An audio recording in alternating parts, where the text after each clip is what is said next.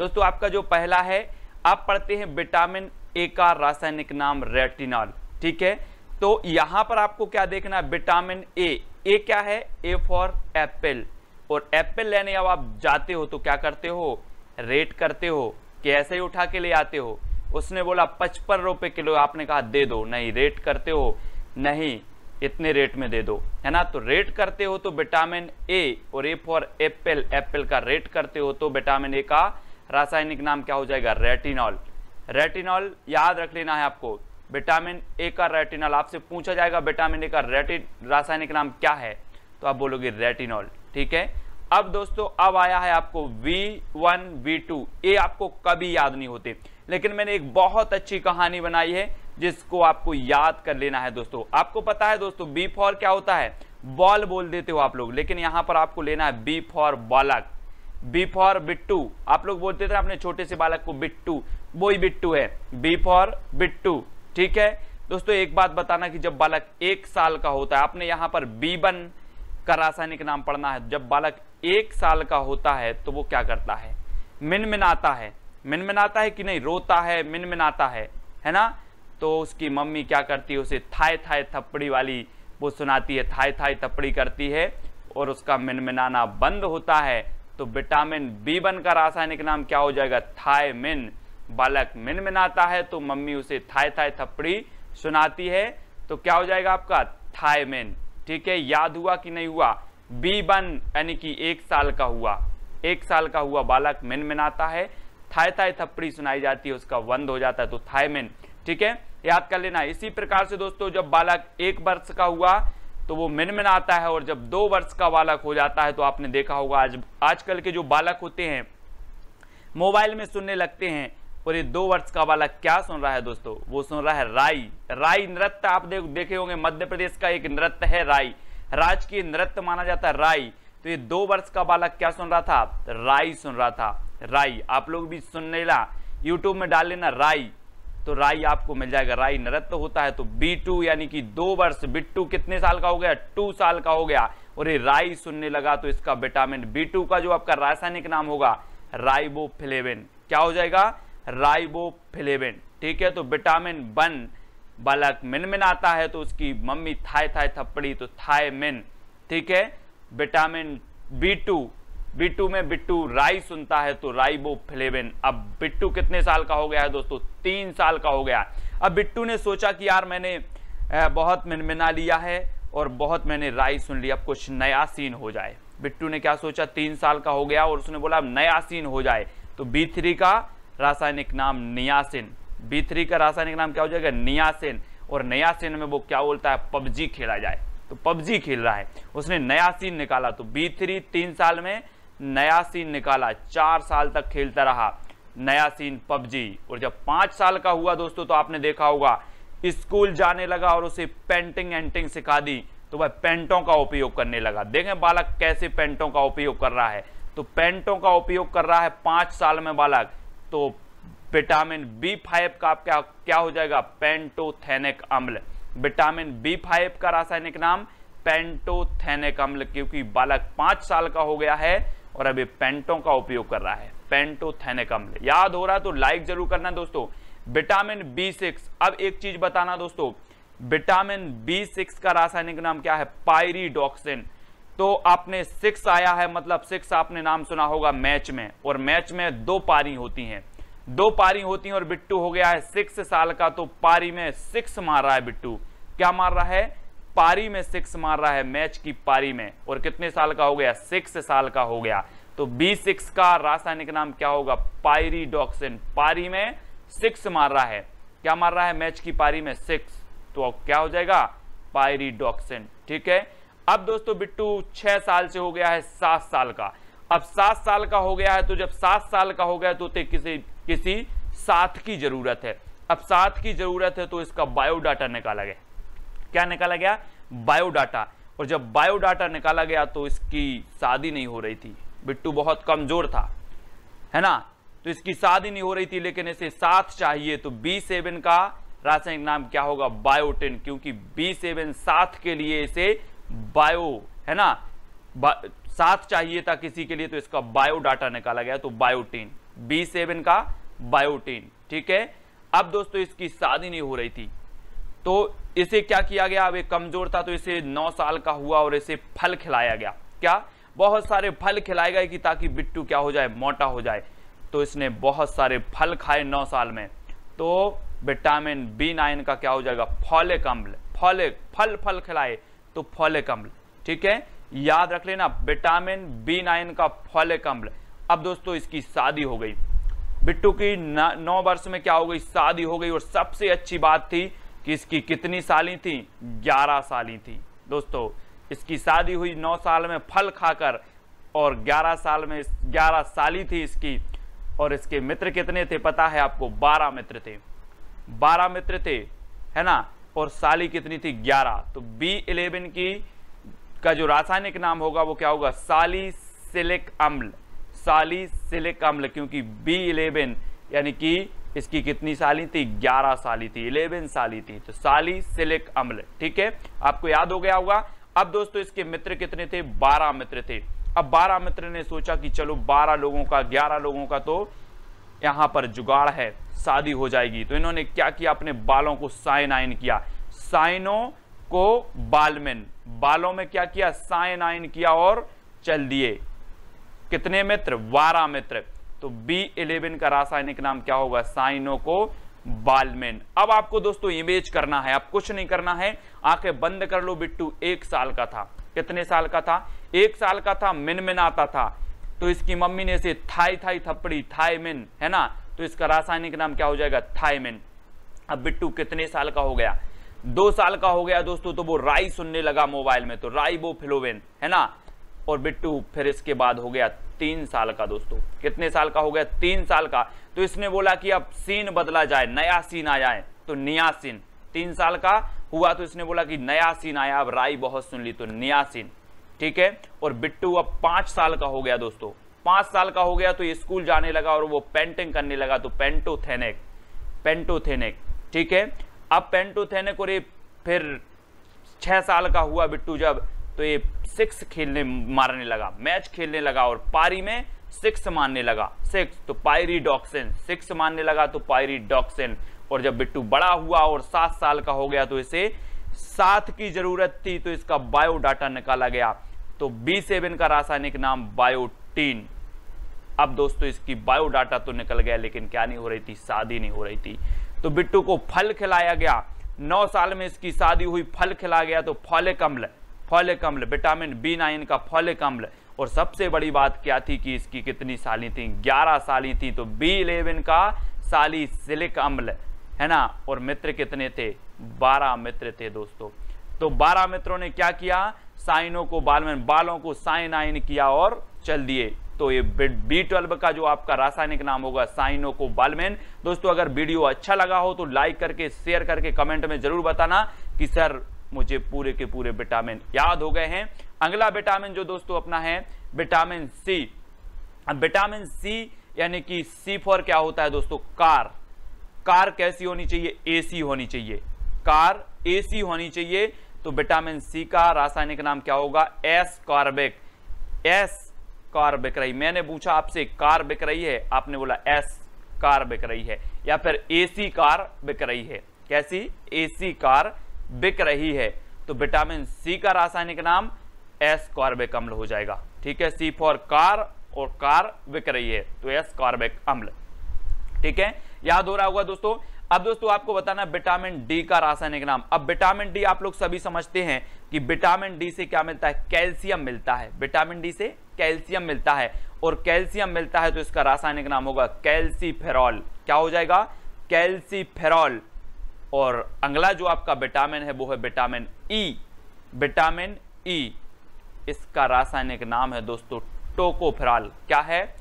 Tocopherol है और ई e for क्या होता है? ई e फॉर होता है एलिफेंट। ई फॉर एलिफेंट और एलिफेंट को टोकोगे तो क्या हो जाएगा? फैल हो जाएगा एलिफेंट। फैल हो जाएगा और आपको चित्त कर देगा। है ना? तो टोको मत टोको मत। ई टोको मत। है ना? तो ई का टोकोफेरॉल, ठीक है? और एक और आपका बचा है दोस्तों, विटामिन के। अब विटामिन के का जो रासायनिक नाम होता है, वो होता है फिलो क्विनोन फिलो क्विनोन आपने एक प्रश्न सुना होगा, एक क्वेश्चन हमेशा पूछा जाता है परीक्षा में कि विटामिन के की कमी से कौन सा रोग होता है। तो आपने बताया होगा कि रक्त का थक्का नहीं जमता। क्यों नहीं जमता? क्योंकि इसका फिलो रुक जाता है। क्या होता है? इसका फिलो रुक जाता है। तो विटामिन के का रासायनिक नाम क्या होगा? फिलो क्विनोन इसका फिलो रुक जाता है, कम हो जाता है, इसलिए रक्त का थक्का नहीं जमता। तो फिलोक्विनोन विटामिन के का रासायनिक नाम होगा। आपको बताना है सबसे पहले आपको दो सेकंड में, दूध और दही में कौन सा अम्ल पाया जाता है? आपके दो सेकंड पूरे होते हैं और आपका उत्तर हो जाता है दोस्तों, लैक्टिक अम्ल। लैक्टिक अम्ल, अब एक चीज़ हमें बताना कि आप दूध और दही लेके आते हैं कि नहीं आते? लेके आते हैं मतलब लेके तो लेक्टिक अम्ल। चित्र के माध्यम से देखें, आप दूध लेके आ रहे हो, दही लेके आ रहे हो। दूध लेके आते हैं। दूध और दही क्या करते हैं? हम लेके आते हैं तो दूध और दही में कौन सा अम्ल पाया जाएगा? लैक्टिक अम्ल, क्योंकि हम लेके आते हैं तो लैक्टिक अम्ल। ठीक है? अगर याद हो तो वीडियो को लाइक ज़रूर कर देना। अगला देखते हैं दोस्तों, मक्खन में कौन सा अम्ल पाया जाता है? मक्खन में। मक्खन में अम्ल बताना है, आपने मक्खन देखा होगा। दूध जब जम जाता है और दही बनता है और दही से हम मक्खन निकालते हैं तो मक्खन में कौन सा अम्ल पाया जाता है? तब आपका बिल्कुल सही आंसर होगा ब्यूटेरिक अम्ल। दोस्तों, आपको पता होगा कि चेहरे की खूबसूरती बढ़ाने के लिए क्या लगाते हैं? मक्खन लगाते हैं। और जब आप मक्खन लगाओगे चेहरे में तो आप ब्यूटीफुल हो जाओगे। ब्यूटीफुल यानी कि ब्यूटेरिक तो मक्खन में कौन सा अम्ल होगा? ब्यूटेरिक अम्ल, क्योंकि मक्खन क्या बना देता है? ब्यूटी बना देता है। ठीक है? तो ब्यूटेरिक अम्ल चित्र के माध्यम से देखो आप ब्यूटी ये मक्खन लगा रहे हैं और आप ब्यूटी हो जाओगे। तो मक्खन लगाओगे तो ब्यूटी हो जाओगे। तो मक्खन में कौन सा अम्ल होगा? ब्यूटेरिक अम्ल ठीक है? याद हो रहा है तो जल्दी से वीडियो को लाइक ज़रूर कर देना। सेव में कौन सा अम्ल पाया जाता है? सेव। सेव बताना है आपको। सेव में कौन सा अम्ल पाया जाता है? तब आपका बिल्कुल सही आंसर हो जाएगा दोस्तों मौलिक अम्ल अब एक चीज़ बताना, आप सेव खरीदने जाते हो। सेव खरीदने जाते हो कि मोल भाव करते हो कि नहीं करते हो? करते हो। अगर दुकानदार एक सौ साठ रुपया किलो बताता है तो आप बोलते हो, नहीं, एक सौ बीस रुपया किलो दे दो। ठीक है? तो आप क्या करते हो? मोल भाव करते हो तो सेव में कौन सा अम्ल पाया जाएगा? मौलिक अम्ल क्योंकि आप सेव का क्या करते हो? मोल भाव करते हो तो मौलिक अम्ल ठीक है? अगला देखो दोस्तों, फलों के रस व सिरका में कौन सा अम्ल पाया जाता है? प्रश्न क्रमांक चार का उत्तर बताना है हमें। फलों के रस व सिरका में अम्ल बताना है।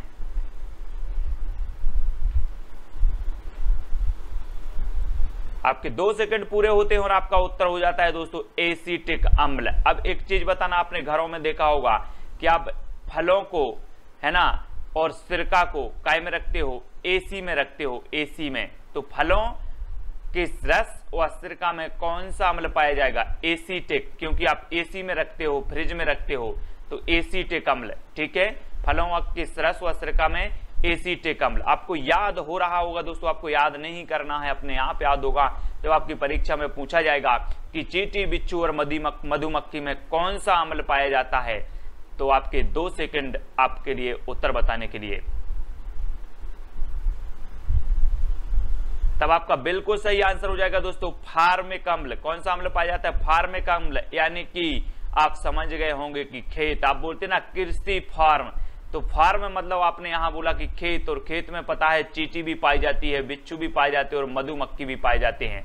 तो खेत यानी कि फार्म, ठीक है? यहाँ पर देखिए आप, ये खेत है, और खेत में आपको बिच्छू भी है, और यहाँ पर खेत में मधुमक्खी भी है। तो मधुमक्खी जो है, खेत में है, कृषि फार्म में है तो फार्म है। तो इनमें कौन सा अम्ल पाया जाएगा? फार्मिक अम्ल पाया जाएगा, क्योंकि ये कृषि फार्म में मिल जाते हैं। ठीक है? तो कृषि फार्म में कौन मिल जाते हैं? चीटी, बिच्छू और मधुमक्खी। तो इनमें कौन सा अम्ल होगा? फार्मिक अम्ल होगा। ठीक है?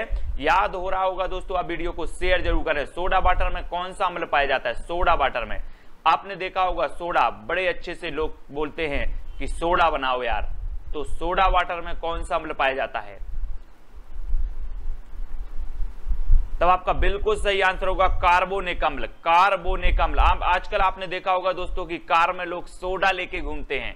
सोडा लेके घूमते और आप बोलते हो कि सोडा बनाओ, सोडा। ये दिख रहा होगा आपको यहाँ पर सोडा लिखा और एक कार में घूमते हैं तो कार्बोनिक अम्ल सोडा में कौन सा अम्ल होता है? कार्बोनिक अम्ल क्योंकि सोडा लेकर काय में घूम रहे हैं? कार में घूम रहे तो कार्बोनिक। ठीक है? अगला देख लो तो दोस्तों, चाय में कौन सा अम्ल पाया जाता है? आप लोग चाय पीते हो। अगर मैं आपसे क्वेश्चन करूँ कि आप चाय क्यों पीते हो रोज तो आप क्या कहोगे? सबसे पहली बात तो आप दैनिक पीते हो तो दैनिक से क्या हो जाएगा? टेनिक, ठीक है? टेनिक, है ना? चाय कब पीते हो? मैं आपसे बोलूँ, चाय कब पीते हो? आप बोलोगे, दैनिक तो टेनिक। अब क्यों पीते हो? तो आप बोलते हो, टॉनिक मिलता है उससे क्या मिलता है? टॉनिक। तो टेनिक आपको याद रख लेना है, एक तो दैनिक चाय पीते हो तो दैनिक से टेनिक, और चाय में क्या मिलता है? तो आपको टॉनिक मिलता है, ठीक है? तो चाय में कौन सा अम्ल पाया जाएगा? टेनिक पाया जाता है, क्योंकि चाय में आपको टॉनिक मिल जाता है। तो टॉनिक यानी कि टेनिक, आ नंबर बिल्कुल सही हो जाएगा। ये है चाय, और चाय में आपको मिलता है टॉनिक। ठीक है? हाँ। अगला देखो, यहाँ पर बसा में कौन सा अम्ल पाया जाता है? तो आपका बिल्कुल सही आंसर हो जाएगा दोस्तों, ओलिक। कौन सा अम्ल पाया जाता है? ओलिक। अब बसा अलग अलग होते हैं दोस्तों। एक तो बोलते हैं हम दिल में बसा लिया। क्या होते दिल में वसा लिया। वो वाला वसा अलग है। और बसा जो होता है, जैसे घी में पाया जाता है वसा, है ना? वो वसा अलग है। तो आपको वसा में बताना है, वसा में कौन सा अम्ल पाया जाता है? तो आपको याद रख लेना है, ओली। ओली को दिल में वसा लिया। ओली को, ओले को दिल में वसा लिया। तो वसा, ऐसे याद रख लेना, ओली को दिल में बसा लिया। तो बसा में कौन सा? ओलिक। ओलिक अम्ल है। ओलिक, ठीक है? इस प्रकार से याद रखने ओलिक। नींबू और मौसम्बी में कौन सा अम्ल पाया जाता है? दोस्तों, आपने नींबू भी देखा होगा, मौसम्बी भी देखा। आप बोलते ना कि मौसम्बी का अच्छा रस बनाओ यार, नींबू का रस बनाओ, है ना? शरबत बोलते नींबू का रस बनाओ। अब आपको नींबू और मौसम्बी का अगर रस बनाना है तो क्या करना होगा? आपने कभी बनाया भी नहीं है। तो नींबू और मौसम्बी को रस बनाने की भी एक आपके पास ट्रिक होनी चाहिए। जैसे हम ट्रिक से पढ़ रहे हैं तो आपको भी ट्रिक होनी चाहिए। नींबू का रस और मौसम्बी का रस तभी निकलेगा जब आपके पास क्या है? ट्रिक। तो साइड ट्रिक, है ना? नींबू और मौसम्बी में कौन सा? Side trick. नींबू और मौसम्बी का रस निकालने के लिए आपके पास होनी चाहिए ट्रिक। तो इनमें जो अम्ल पाया जाता है, वो पाया जाता है साइड ट्रिक, ठीक है? अगर मैं आप कभी बोलूँ कि यार नींबू का रस बनाओ, बोल देना, सर, मेरे पास कोई ट्रिक नहीं है। या मैं ट्रिक से रस निकालता हूँ, ठीक है? तो नींबू और मौसम्बी साइट्रिक अम्ल। अगला देखो, इमली और अंगूर में कौन सा अम्ल पाया जाता है? इमली भी आपने देखी होगी दोस्तों, और अंगूर भी आपने देखा होगा। तो कौन सा पाया जाता है इमली और अंगूर में?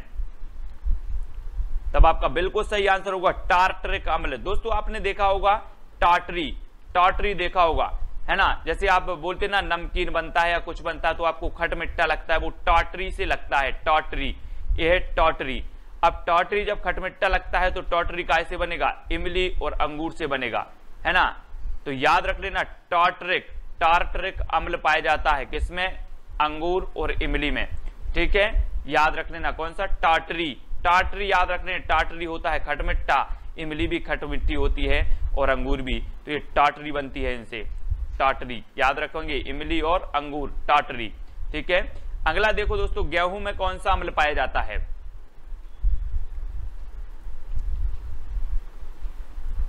तब आपका बिल्कुल सही आंसर होगा दोस्तों गिलू गिलूटेनिक। कौन सा? गिलूटेनिक। अब हम आपसे कहें कि जो गेहूँ है, इसमें क्या पाया जाता है? ग्लूकोज पाया जाता है। ग्लूकोज पाया जाता है तो इसमें कौन सा अम्ल होगा? गिलूटेनिक अम्ल। गिलूटेनिक, गिलू से ग्लूकोज और टेनिक से टॉनिक। ग्लूकोज का टॉनिक आपको देना चाहिए, ठीक है? तो गेहूँ में गिलूटेनिक अम्ल पाया जाता है। याद रख लेना, ठीक है? गेहूँ। और भी देखें, गन्ना में कौन सा अम्ल पाया जाता है दोस्तों? आप लोग गन्ना खाते होंगे। गन्ना खाते ना? तो गन्ना खाते होंगे, लेकिन गन्ना खाते तो होंगे, लेकिन आपके गले में फंस जाता होगा। काय में? गले में।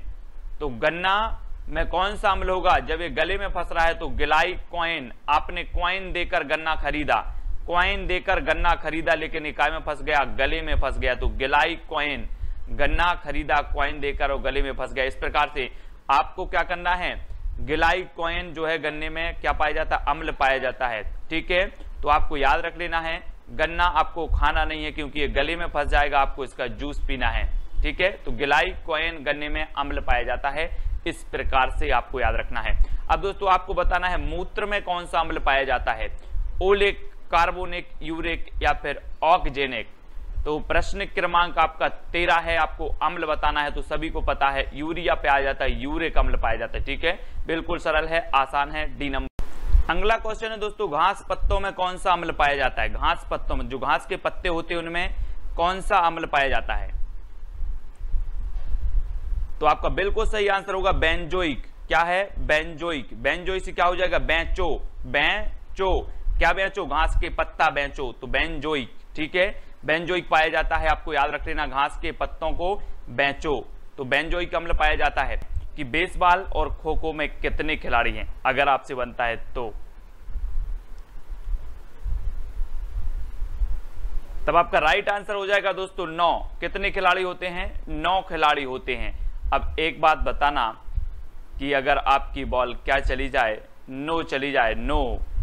नो चली जाए तो आपका बेस बिगड़ जाता है और आप बहुत कुछ खो देते हो, क्योंकि अब क्या मिलनी है? फ्री हिट मिलना है। फ्री हिट और फ्री हिट में छक्का भी लग सकता है। तो आपकी बॉल अगर नो चली गई तो आपका बेस बिगड़ जाएगा और आप बहुत कुछ खो देगो। तो बेस बॉल में कितने खिलाड़ी हो जाएँगे? नौ खिलाड़ी। और खो दोगे तो खो खो में भी नौ खिलाड़ी हो जाएँगे। ठीक है? इस प्रकार से आपको याद रख लेना, इसलिए नो बॉल नहीं फेंकना है। नो बॉल नहीं फेंकना है। नो से नौ, है ना? बेसबॉल और खो खो ठीक है कितने खिलाड़ी? नौ खिलाड़ी, ठीक है? याद हो गया? अब देखते हैं दोस्तों वाटर पोलो, कबड्डी और नेटबॉल में कितने खिलाड़ी होते हैं?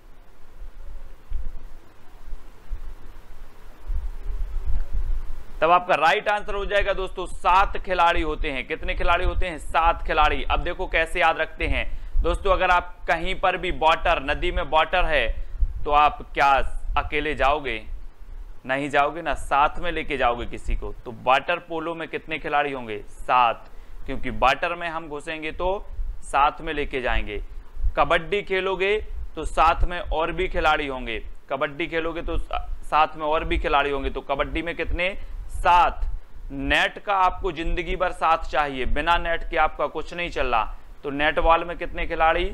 सात खिलाड़ी। याद रख लेना, नेट बॉल, आया आपसे पूछा, नेट बॉल में कितने खिलाड़ी? आपने सोचा कि नेट आया सन ने ट्रैक बनाई थी नेट नेट का साथ तो ज़िंदगी भर चाहिए, यानी कि साथ चाहिए तो सात खिलाड़ी। कबड्डी कबड्डी में साथ चाहिए होता है, कबड्डी अकेले नहीं खेल सकते तो साथ चाहिए होता है तो सात खिलाड़ी।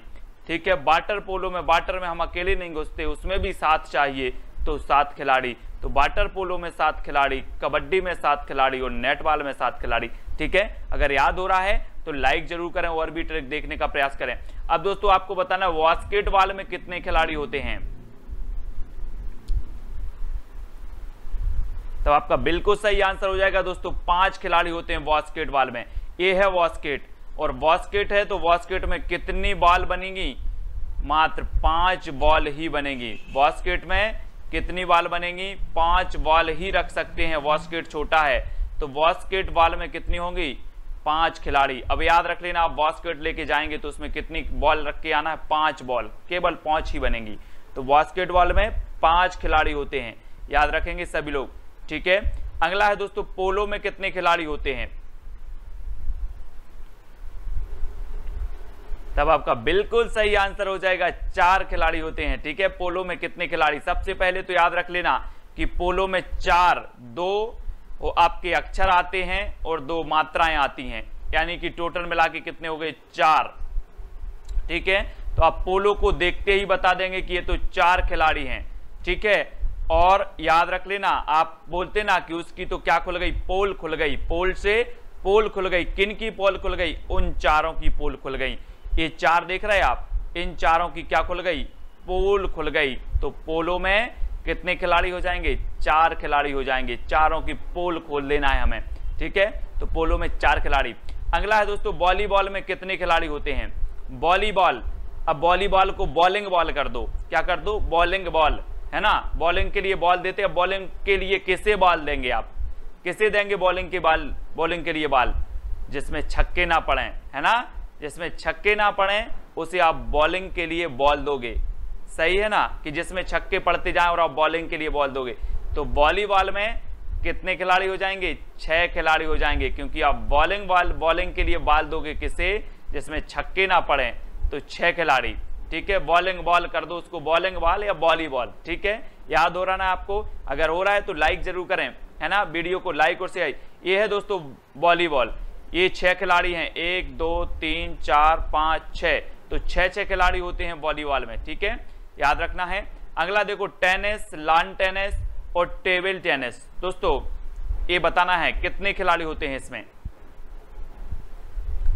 आप लोग दोस्तों टेनिस की बॉल लेते आगे होंगे। टेनिस बॉल टेनिस क्रिकेट प्रतियोगिता। खेलते ना आप लोग? टेनिस की क्या खेलते हैं? बॉल खेलते हैं। तो टेनिस की बॉल लेकर के आओगे तो एक या दो लेकर आओगे? दस तो नहीं लेकर के आओगे। एक या दो लेकर के आएँगे। बस सर, हो जाएगा, इतने में खेल लेंगे। तो टेनिस लॉन टेनिस और टेबल टेनिस एक या दो खिलाड़ी होते हैं। अब टेनिस जहाँ भी आएगा तो आप टेनिस की कितनी बॉल लेकर के आओगे? एक या दो, ठीक है? एक या दो बॉल लेकर के आएँगे। तो टेनिस जहाँ भी आपका आता है तो वहाँ एक या दो खिलाड़ी होते हैं। ऐसे आपको याद रखना है। अगला क्वेश्चन बताना है दोस्तों आपको, हॉकी, फुटबॉल और क्रिकेट में कितने खिलाड़ी होते हैं? क्रिकेट तो सभी लोग मेरे दोस्त खेलते होंगे। सभी लोग खेलते ना क्रिकेट? कमेंट में बता देना। है ना? तो आपको पता है कि इसमें होते हैं क्रिकेट और फुटबॉल और हॉकी में 11 खिलाड़ी होते हैं। अब देखो 11 को कैसे याद करना है। क्रिकेट को तो सभी को पता है कि 11 खिलाड़ी होते हैं। ठीक है, दो और ऐसे खेल हैं, फुटबॉल और हॉकी। ये है दोस्तों हॉकी। हॉकी में एक और एक एक और एक। कितना हो जाता है? डंडा है एक डंडा खींच दो और एक और खींच दो तो बोले ग्यारह हो गए। बैट भी इसी प्रकार से है क्रिकेट का। एक एक तो ग्यारह हो गए। और फुटबॉल में भी आप क्या से खेलते हो? पाँव से खेलते हो। तो पाँव, एक और एक ग्यारह, है ना? हम बोलते ना, कहाँ जा रहे हो? कैसे जा रहे हो? बोले, हम ग्यारह नंबर की बस से जा रहे हैं। ग्यारह नंबर की बस यानी कि कैसे जा रहे हैं हम? पैदल जा रहे हैं। तो फुटबॉल में भी आप क्या करते हो? पाँव से खेलते हो। तो पाँव, एक और एक, ठीक है? तो ग्यारह, फुटबॉल, हॉकी और क्रिकेट में कितने खिलाड़ी होंगे? 11 खिलाड़ी होंगे, ठीक है? अब 11 नंबर की बस से जाना है हमें। अगला देखते हैं दोस्तों, बॉक्सिंग में कितने खिलाड़ी होते हैं? बॉक्सिंग में कितने खिलाड़ी होते हैं? तीन, एक, चार या फिर दो। बॉक्सिंग, आप कहते ना कि एक मुक्का मारेंगे। क्या बोलते ना? एक मुक्का, गुस्सा मत दिलाना, नहीं तो एक मुक्का मारेंगे। इसलिए बोलते थे तो बॉक्सिंग में कितने होंगे खिलाड़ी? एक खिलाड़ी। यानी कि जो आपका बी नंबर है, वो बिल्कुल सही हो जाएगा। ठीक है? अगला है दोस्तों, ये है आप मुक्का मारने के लिए तैयार रहते हो अपने मित्रों के लिए। बोलते गुस्सा मत दिला नहीं तो एक मुक्का मारेंगे, है ना? अब रग्बी फुटबॉल में कितने खिलाड़ी होते हैं दोस्तों? रग्बी बताना है आपको, जल्दी से बताएँ। तो आपका बिल्कुल सही आंसर होगा, कितने खिलाड़ी होते हैं? पंद्रह खिलाड़ी होते हैं। रग्बी फुटबॉल में होते हैं दोस्तों, पंद्रह। रग्बी से क्या बनेगा? रबी। रबी कोई आपका मित्र है जो कितने साल का है? पंद्रह साल का है। कितने साल का है? पंद्रह साल का है रग्बी फुटबॉल। रग्बी से आप रबी बोल देना कि रबी मेरा एक मित्र है और वो कितने साल का है? पंद्रह साल का है। तो रग्बी फुटबॉल में कितने खिलाड़ी हो जाएँगे? पंद्रह। कितने हो जाएँगे? पंद्रह। सबसे ज़्यादा होते रग्बी फुटबॉल में। ठीक है? तो याद रख लेना। अगला है दोस्तों आपका स्नूकर में कितने खिलाड़ी हैं? स्नूकर में कितने खिलाड़ी होते हैं? तब आपका बिल्कुल सही आंसर होता है, एक खिलाड़ी होते हैं स्नूकर। तो आपको नहीं लग रहा नौकर स्नूकर, नौकर तो आप कितने नौकर रखोगे? एक ही रखना बस। कितने रखोगे? एक। है ना? बोले, सर, आपने बोला था नौकर एक रखो तो मैंने एक ही रखा है। और स्नूकर में कितने खिलाड़ी हो जाएँगे आपके? एक खिलाड़ी हो जाएँगे। तो इस प्रकार से दोस्तों, हमने याद कर लिया, है ना, कि पोलो में चार खिलाड़ी होते हैं, और जब पोलो हम लिखते हैं तो दो मात्राएँ और दो अक्षर आते हैं तो हो जाते चार। और पोल चारों की पोल खुल गई। इस प्रकार से हम याद कर लेते हैं। फुटबॉल में लाभ पाँव से खेलते हैं तो 11 नंबर की बस से, यानी कि 11 होते हैं। क्रिकेट में बैट ये है तो एक एक बैट, है ना? एक बताता है एक। तो 11 नंबर आपका हो जाएगा ऐसे ही। हॉकी में भी आपके 11 हो जाएँगे। स्नूकर में नौकर आ रहा है मतलब नौकर एक रखना है हमें। ठीक है? कबड्डी में सात चाहिए खेलने के लिए तो कबड्डी में सात खिलाड़ी हो जाएँगे। वाटर पोलो में वाटर में हम अकेले नहीं घुस सकते वाटर में हम अकेले नहीं तैर सकते, हमें सात चाहिए। ठीक है? तो वाटर पोलो में सात हो जाएँगे दोस्तों आपके। चावल, मटर में कितने गुणसूत्र होते हैं? तब आपका बिल्कुल सही आंसर हो जाएगा, कितने होते हैं? चौबीस होते हैं। एक बार की बात सुनो दोस्तों। मेरी बीबी ने कहा कि आज हम चावल टमाटर बना रहे हैं। मैंने कहा, ठीक है। दोपहर में मैं मैंने कहा कि, क्या बना रहे हैं? तो चावल टमाटर बना रहे हैं। फिर शाम को बोला तो क्या बना रहे हैं? चावल टमाटर बना मैंने कहा 24 घंटे चावल टमाटर क्या लगा रखा है? तो चावल टमाटर चावल टमाटर एक क्या लगा रखा है? 24 घंटे। तो चावल टमाटर का गुणसूत्र कितना होगा? 24 ठीक है, क्योंकि क्या बन रहा है? 24 घंटे चावल टमाटर बन रहा है। ठीक है? तो 24 आपका उत्तर बिल्कुल सही हो जाएगा। अगला देखो, आम और चूहे का गुणसूत्र। आम और चूहे का गुणसूत्र कितना होता है? उनतालीस, चालीस, बयालीस या फिर इकतालीस? तब आपका बिल्कुल सही आंसर क्या हो जाएगा दोस्तों? चालीस। कितना होता है? चालीस। ठीक है? अब दोस्तों आप एक चीज़ बताना। आम कितने रुपया किलो होते हैं? लगभग चालीस रुपया किलो होते हैं। और आप एक किलो आम चालीस रुपया के खरीद कर लाए और घर पर आके रखा और ये चूहा जो आपको दिख रहा है, ये पूरा आम आपके खा गया। ठीक है? तो आप कितने रुपया के लाए थे? चालीस रुपए के लाए थे और आम खा गया चूहा। कितने रुपए के? चालीस रुपए के। तो आम का गुणसूत्र भी चालीस हो गया और आम चालीस के खाए तो चूहे का गुणसूत्र भी कितना हो गया? चालीस हो गया। अब आपको याद भी हो गया कि आम का गुणसूत्र चालीस तो चूहे का गुणसूत्र भी चालीस ही होगा, क्योंकि आम तो चूहा खा गया। ठीक है? इसलिए आपको याद करना है, बिल्ली, शेर और टाइगर में गुणसूत्र होते हैं। अब दोस्तों, आपने देखे होंगे बिल्ली, शेर और टाइगर। ये सभी एक ही प्रजाति के प्राणी हैं। अब इनके गुणसूत्र कितने होते हैं? तब आपका बिल्कुल सही आंसर हो जाएगा दोस्तों 38 कितने होते हैं? 38 अब जब आप 38 लिखते हो तो आप बोलते ना कि टाइगर क्या हो जाता है? अड़ जाता है। टाइगर अड़ जाता है। शेर भी अड़ जाता है। बिल्ली भी आपने देखी होगी, अड़ जाती है। जब बिल्ली अड़ जाए तो किसी की दम नहीं होती कि बिल्ली के साइड जाए, है ना? तो बिल्ली भी अड़ जाता है, शेर भी अड़ जाता है और टाइगर भी। तो अड़ जाता है सो अड़ से क्या बनेगा? अड़तीस, ठीक है? तो बिल्ली, शेर और टाइगर अड़ जाते हैं, इसलिए इनके गुणसूत्र कितने हैं? अड़तीस, ठीक है? अब देखते हैं हाथी में कितने गुणसूत्र हैं। हाथी में आपको बताना कितने गुणसूत्र हैं। अगर आपसे बनता है तो कमेंट में ज़रूर लिखते जाए। वीडियो को लाइक ज़रूर आपको करना है दोस्तों। हाथी में जो गुणसूत्र होते हैं, वो कितने होते हैं? छप्पन होते हैं। अब आपने छप्पन इंच का सीना सुना होगा दोस्तों। अब जिसका छप्पन इंच का सीना होगा, उसका शरीर भी कैसा होगा? हाथी जैसा होगा। हम बोलते ना कि हाथी जैसा शरीर लगाए हो और आप में कोई ताकत नहीं है। तो जिसका छप्पन इंच का सीना होगा उसका शरीर भी हाथी जैसा होगा या फिर जो हाथी जैसा होगा, उसका सीना छप्पन इंच होगा। ठीक है? तो छप्पन इंच, छप्पन गुणसूत्र होते हैं हाथी में, ऐसा आपको याद करना है। अगला देखो दोस्तों, मच्छर में कितने गुणसूत्र होते हैं? मच्छर। मच्छर सभी लोगों ने देखे होंगे, मच्छर। तब आपका बिल्कुल सही आंसर हो जाएगा छ यहाँ पर आ रहा ना छ मच्छर। तो छ आ रहा है यहाँ पर। तो मच्छर में छह गुणसूत्र होते हैं। कितने होते हैं? छह। ये चीज़ याद रखनी ना, इस मच्छर में कितने गुणसूत्र हैं?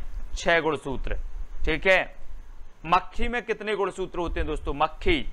आपके घर में मक्खी रहती होंगी। आप बहुत सफ़ाई करते, फिर भी मक्खी रह जाती हैं। एक दो मक्खी तो रह जाती हैं।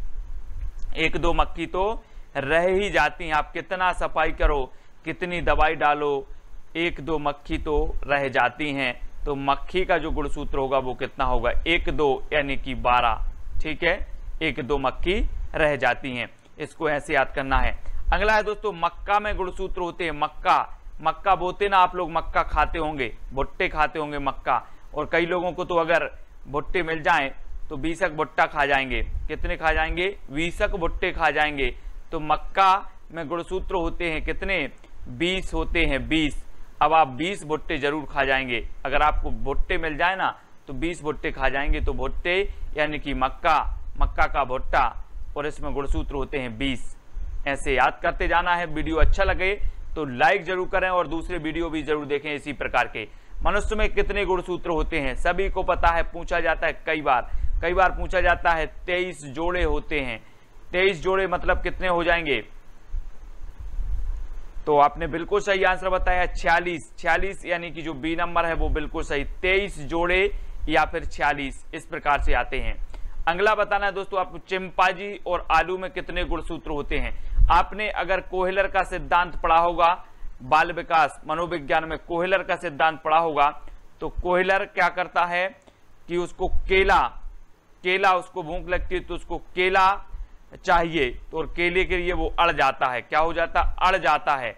तो चिंपाजी और आलू, यहाँ पर चित्र में देखो, ये चिंपाजी है और ये चिंपाजी भी आलू खाना है इसको। ये अड़ गया है कि हमें तो आलू ही खाना है। कौन? चिंपाजी। अड़ गया है कि आलू खाना है। अड़ गया है तो 48 ठीक है? और ये 48 साल का चिंपा है, ठीक है? ये लगभग 48 आलू खा जाएगा। कितने खा जाएगा? 48 तो 48 आलू खा जाएगा चिंपा 48 साल का। ठीक है और ये अड़ गया है आलू खाने के लिए। तो इस प्रकार से आपका उत्तर हो जाएगा 48 चिंपाजी और आलू का गुणसूत्र कितना होगा? 48 ठीक है? अब देखें दो, दोस्तों घोड़ा का घोड़ा का जो घोड़ा में जो गुणसूत्र होते हैं वो कितने होते हैं? घोड़े में बताना है आपको। कितने गुणसूत्र होते हैं घोड़े में? तो आपका बिल्कुल सही आंसर हो जाएगा चौसठ। जी हाँ दोस्तों ये जो घोड़ा है ये अपने चार पाँव से एक दिन में चौसठ किलोमीटर चौसठ किलोमीटर दौड़ता है। है ना? घोड़ा एक दिन में कितने किलोमीटर दौड़ता है? चौसठ किलोमीटर। आपको याद रख लेना। चौसठ। ठीक है? नेक्स्ट देखते हैं, कबूतर में गुणसूत्र होते हैं। कितने होते हैं कबूतर में गुणसूत्र? प्रश्न क्रमांक 11 का उत्तर बताना है। तो आपका बिल्कुल सही आंसर हो जाएगा दोस्तों 80 साल, है ना? 80 कितने गुणसूत्र होते हैं कबूतर में? 80 गुणसूत्र होते हैं, क्योंकि आजकल के जो 80 साल के बुढ़े हैं, वो भी ये गाना गाते हैं, कबूतर जा जा जा। आपने नाम सुने होंगे ना? तो 80 साल का बुढ़ा भी क्या गाता है? कबूतर जा जा वाला गाना गाता है। तो कबूतर में कितने गुणसूत्र होते हैं? 80 क्योंकि 80 साल का बुढ़ा भी गाना गाता है। कबूतर, जा जा जा। इस प्रकार से याद करते जाना है, ठीक है? ये देखो, कसरत कर रहे हैं अस्सी साल के बुढ़े। प्याज और कंगारू में गुणसूत्र होते हैं, कितने होते हैं? बारह का उत्तर में बताना है। प्याज और गुणसूत्र, कंगारू में कितने होते हैं?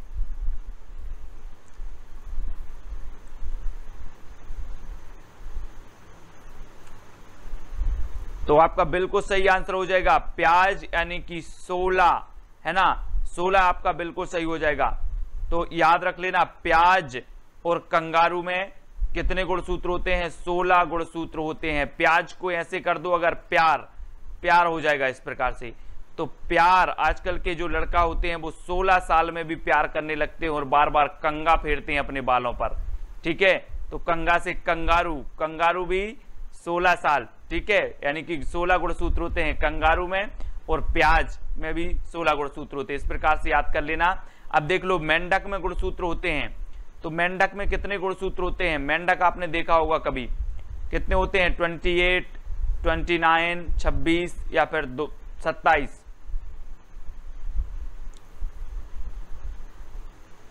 तो आपका बिल्कुल सही आंसर होगा। कितने होते हैं? 26 होते हैं। आप अगर बरसात के समय में चाहो तो मेंढक 26 मेंढक को ढक सकते हो, ढक मेंढक मैं ढक 26 मेंढक को ढक सकते हो। तो मेंढक में गुणसूत्र कितने होते हैं? 26 है ना? गाजर में गुणसूत्र होते हैं दोस्तों, गाजर। गाजर में कितने होते हैं? तब आपका बिल्कुल सही आंसर होगा 18 और आप अगर गाजर का क्या खाते हो? गाजर का जूस पीते हो, जूस। तो आप भी कितने साल के हो जाओगे? अब दोस्तों, आपको बताना है, गाजर में गुणसूत्र होते हैं। कितने गुणसूत्र होते हैं गाजर में? आपने गाजर देखी होगी। तो आपका बिल्कुल सही आंसर होगा 18 कितने गुणसूत्र होते हैं? 18 गुणसूत्र होते हैं। अगर आप गाजर का जूस पीते हो तो आप चाहे 60 वर्ष के हो, कितने वर्ष के हो जाओगे? 18 वर्ष के हो जाओगे। चित्र में देखो, ये सभी क्या करते हैं? गाजर का जूस पीते हैं। और ये कितने वर्ष के लग रहा है आपको? 18 वर्ष जैसे लग रहा है। ठीक है? तो ये गाजर का जूस पीते हैं तो 18 वर्ष के हो जाते हैं। तो गाजर में जो गुणसूत्र होते हैं, वो कितने होते हैं? 18 इस प्रकार से आपको याद रखना है। अगला देखो, भालू में गुणसूत्र होते हैं। भालू भालू आपने देखा होगा। भालू में कितने गुणसूत्र होते हैं? तब आपका राइट आंसर हो जाएगा चौहत्तर। ठीक है? अगर आपका शरीर भी भालू जैसा हो गया तो आप चौहत्तर साल के लगने लगोगे। है ना? जिसका शरीर भालू जैसा हो गया है, वो चौहत्तर साल का लगेगा। या चौहत्तर, ठीक है? तो याद रख लेना है आपको। आपका शरीर, आपने देखा होगा कि 18 साल का है एक व्यक्ति, लेकिन उसका शरीर भालू जैसा हो गया। तो वो कितने साल का लगने लगा? चौहत्तर साल का। तो चौहत्तर होते भालू में गुणसूत्र। अगला है दोस्तों, गेहूँ में गुणसूत्र होते हैं। कितने होते? गेहूँ। आप लोग देखते होंगे, आपके खेत में गेहूँ बोए होते हैं, ठीक है? और गेहूँ आपने देखे होंगे तो कितने गुणसूत्र होते हैं? बयालीस गुणसूत्र होते हैं। एक बार मेरे दोस्त के खेत में गेहूँ बोए थे और गेहूँ में आग लग गई, मैंने उससे पूछा कि आपके कितने खेत में, कितने एकड़ खेत में आग लग गई? तो उसने कहा कि बयालीस एकड़। कितने? बयालीस एकड़ खेत में मैंने गेहूँ बोया था और उसमें क्या लग गई? आग लग गई। तो गेहूँ में कितने गुणसूत्र होते हैं? बयालीस। ठीक है? इस प्रकार से याद रखना है। अब दोस्तों आपको बताना है, खरगोश में गुणसूत्र होते हैं तो कितने होते हैं? दोस्तों, गाँव में खरगोश को बोला जाता है खरा। क्या बोलते खरा। ठीक है? अब देखना, खरा वही उतरेगा, खरा वही उतरेगा रेस में रेस में खरा वही उतरेगा जो अपने चार चार पाँव से दौड़ेगा। चार चार पाँव से दौड़ेगा, वही खरा उतरेगा और खरा को खरगोश कहा जाता है। तो गुणसूत्र कितना होगा? चवालीस।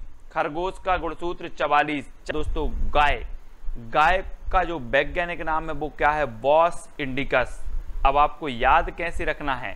आपको पता है इंडिया की बॉस कौन है? गाय। गाय इंडिया की बॉस है। तो गाय का वैज्ञानिक नाम क्या होगा? Bos indicus. ठीक है?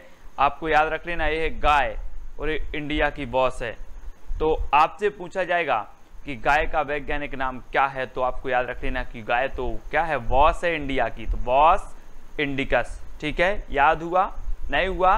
तो लाइक करें, ठीक है? कुत्ता का बताना है दोस्तों। अब आपने देखा होगा कि आजकल कुत्ते भी क्या बन जाते हैं? फैमिली के मेंबर बन जाते हैं। बोलते हैं ना, लोग बोलते हैं कि मेरा फैमिलियर डॉग है है ना? इसलिए तो कुत्ता का वैज्ञानिक नाम क्या हो गया? कैनेस फैमिलियर्स है ना? कैनेस फैमिलियर्स ये मेरा फैमिलियर्स डॉग है। देखें कैसे फैमिलियर्स डॉग आपको चित्र में दिख रहा होगा। फैमिलियर्स डॉग तो आपसे पूछा जाएगा, ठीक है, कि जो कुत्ता है, इसका वैज्ञानिक नाम क्या है? तो फैमिलियर्स डॉग, ठीक है, फैमिलियर्स, कैनिस फैमिलियर्स, ऐसे याद करना है। अगला है दोस्तों, बिल्ली का वैज्ञानिक नाम क्या है? तो आपने देखा होगा आपके घरों में बिल्लियाँ फैली रहती हैं। बिल्लियाँ फैली रहती हैं घरों में। तो फैली रहती हैं तो फैलेस डोमेस्टिका डोमेस्टिका यानी घरेलू है तो घरों में फैली रहती हैं तो फैलेस। तो बिल्ली फैली रहती हैं घरों में। तो बिल्ली का वैज्ञानिक नाम फैलेस डोमेस्टिका, ठीक है? तो याद रख लेना है, चित्र के माध्यम से देखें घरों में बिल्लियाँ फैली रहती हैं। और भी देखें दोस्तों, मक्खी का बताना है आपको। मक्खी का मक्खी का जो वैज्ञानिक नाम है वो क्या है? तो वो है दोस्तों, मस्का। आप लोग घरों में देखते होंगे, मम्मी लोग कितनी भी सफ़ाई कर लें, फिर भी एक आध दो मस जो मच्छी होती हैं, वो मस्का लगाए बैठी रहती हैं। है ना कि मुझे खाना मिलेगा कहीं ना कहीं कुछ तो कुछ मिलेगा। तो मक्खी क्या लगाए बैठती है? मस्का है ना? मस्का लगा देती है। तो मक्खी का वैज्ञानिक नाम मस्का डोमिस्टा। मक, मस्का डोमिस्टा। अब आपसे कोई पूछेगा मक्खी का वैज्ञानिक नाम क्या है? तो आप याद रख लेना घर में बहुत सफ़ाई करते हैं लेकिन मक्खी मस्का लगा देती है। ठीक है? हाँ अगला है दोस्तों घोड़ा का वैज्ञानिक नाम। तो घोड़ा आप देख रहे हैं चित्र में बहुत सारे घोड़ा हैं। अब आप बोलोगे, सर, मैंने एक बस बोला था। मैंने एक बस बोला था घोड़ा लाने को, लेकिन आपने तो बहुत सारे घोड़े ला दिए। तो घोड़े का वैज्ञानिक नाम क्या होगा? एक बस, कैवेसल। एक बस, कैवेसल। मैंने तो एक बस घोड़े को बोला था। आपने तो बहुत सारे ले दिए।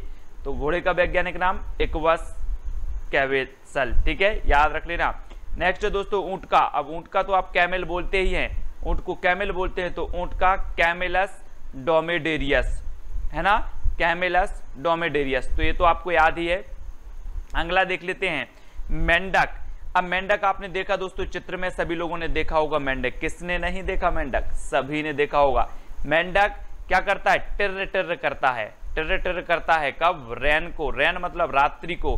रात्रि को करता है तो राना राना ट्रिगना। टिर टिर करता है इसलिए ट्रिगना। राना ट्रिगना, इसका क्या हो जाएगा? वैज्ञानिक नाम हो जाएगा। भूलना मत।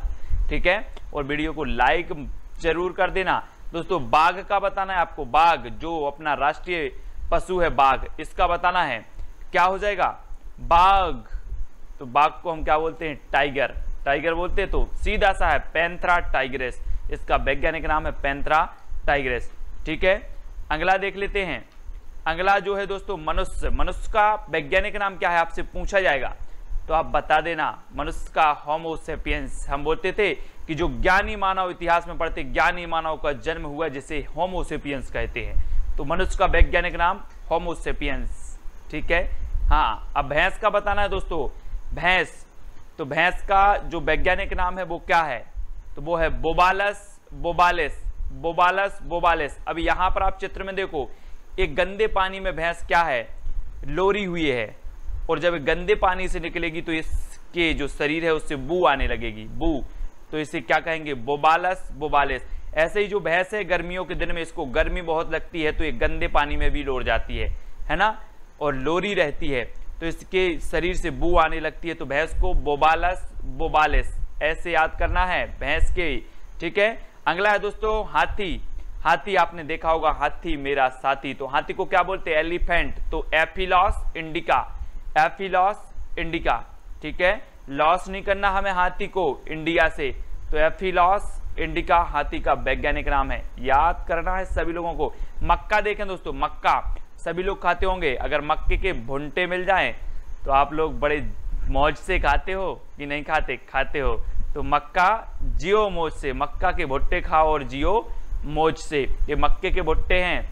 सभी लोग खा लेना। मक्के के भुट्टे खाओ और जियो मौज से।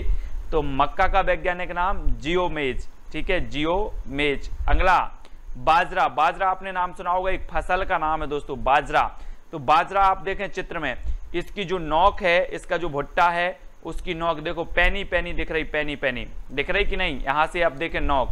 तो बाजरा का वैज्ञानिक नाम क्या हो जाएगा? पेनीसेटम अमेरिकोनम। बाजरा का पेनीसेटम अमेरिकोनम। ये चीज़ याद रखनी इसकी पैनी रहती है नौक, किसकी? वाजरा की। ठीक है, वाजरा। है ना? और ये कहा नहीं मिलता? बाज़ार में नहीं मिलता बाजरा ठीक है, ये अमेरिका के बाज़ार में मिलता, अमेरिकोनम। ठीक है? अब दोस्तों, हमने आपने टमाटर पढ़ना है, टमाटर। टमाटर, यहाँ पर क्या लिखे टमाटर टमाटर। अच्छा एक बात बताना, आप टमाटर लाइक करते हो कि नहीं? करते हो, सभी लोग करते हो, है ना? तो टमाटर को लाइक करना है तो लाइक को प्रेसिकन एस्कुलेंटम, है ना? लाइक को प्रेसिकन एसु, एस्कुलेंटम। सभी लोग टमाटर लाइक करते तो लाइक को लाइक को प्रेसिकन ठीक है? याद रख लेना।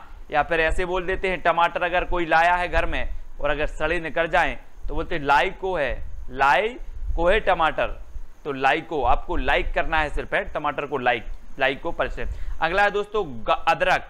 अदरक को क्या बोलते हैं? जिंजर बोलते हैं इंग्लिश में, जिंजर। तो सीधा सा तो है जिंजीबर ऑफिसी नेल ऑफिसिनेल ऑफिसिनेल, है ना? और ऑफ़िस में क्या मिल जाए? अदरक की चाय मिल जाए आपको, बस ठंड के दिनों में। अब बोलोगे, यार, अदरक वाली चाय लेकर के आओ, अदरक वाली। तो ऑफ़िस में आपको अदरक वाली चाय लेके आना है, जिंजर वाली। जिंजर तो अदरक का वैज्ञानिक नाम क्या हो जाएगा? जिंजीवर, ऑफसीनेल। ठीक है?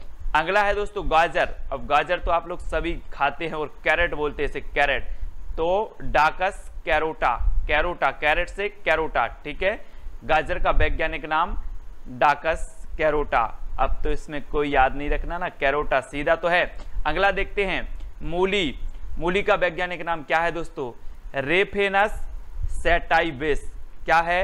Raphanus sativus. तो सभी लोग बता देना कि मूली के बहुत सारे लोग क्या होते फ़ैन होते हैं। मूली के फ़ैन होते हैं सभी लोग। सभी लोग खाते हैं, लेकिन एक बात और है, मूली जब खाते हो तो क्या बनती है? गैस बनती है। बनती है कि नहीं? गैस बनती है, और जब गैस निकलती है तो सभी लोग बोलते रे, फ़ैन चलाओ, फ़ैन फ़ैन चलाओ। तभी सेटाइल, सेटलमेंट होते हैं ना? तो फ़ैन, रे, फ़ैन चलाओ। तो मूली का रेफेनस, सेटाइवेस, इस प्रकार से। कुछ लोग फ़ैन भी होते हैं मूली के, बहुत खाते हैं, है ना? तो ऐसे याद करना है, सेब सेब का बताना है दोस्तों आपको। सेब का क्या है? सेब खाते हैं। कुछ लोग बोलते हैं, सेब खाओ, आपकी मसल्स बन जाएँगी। है ना? कुछ लोग बोलते हैं, सेब, अगर आप खाते हो तो इसका मेल निकाल देना पहला। क्या निकाल देना? मेल।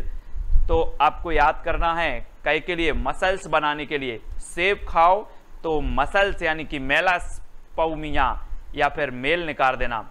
सेब का मेल निकाल देना, फिर खा लेना। ठीक है?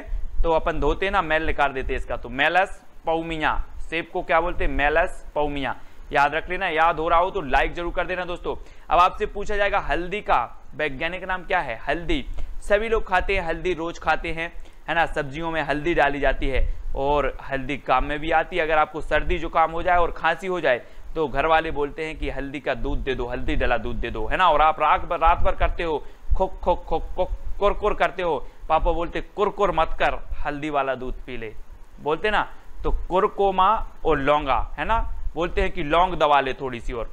बोलते हैं, आपने देखा होगा कि एक लौंग दबा ले मुँह में जैसे कुरकुर नहीं होगा, खांसी नहीं चलेगी।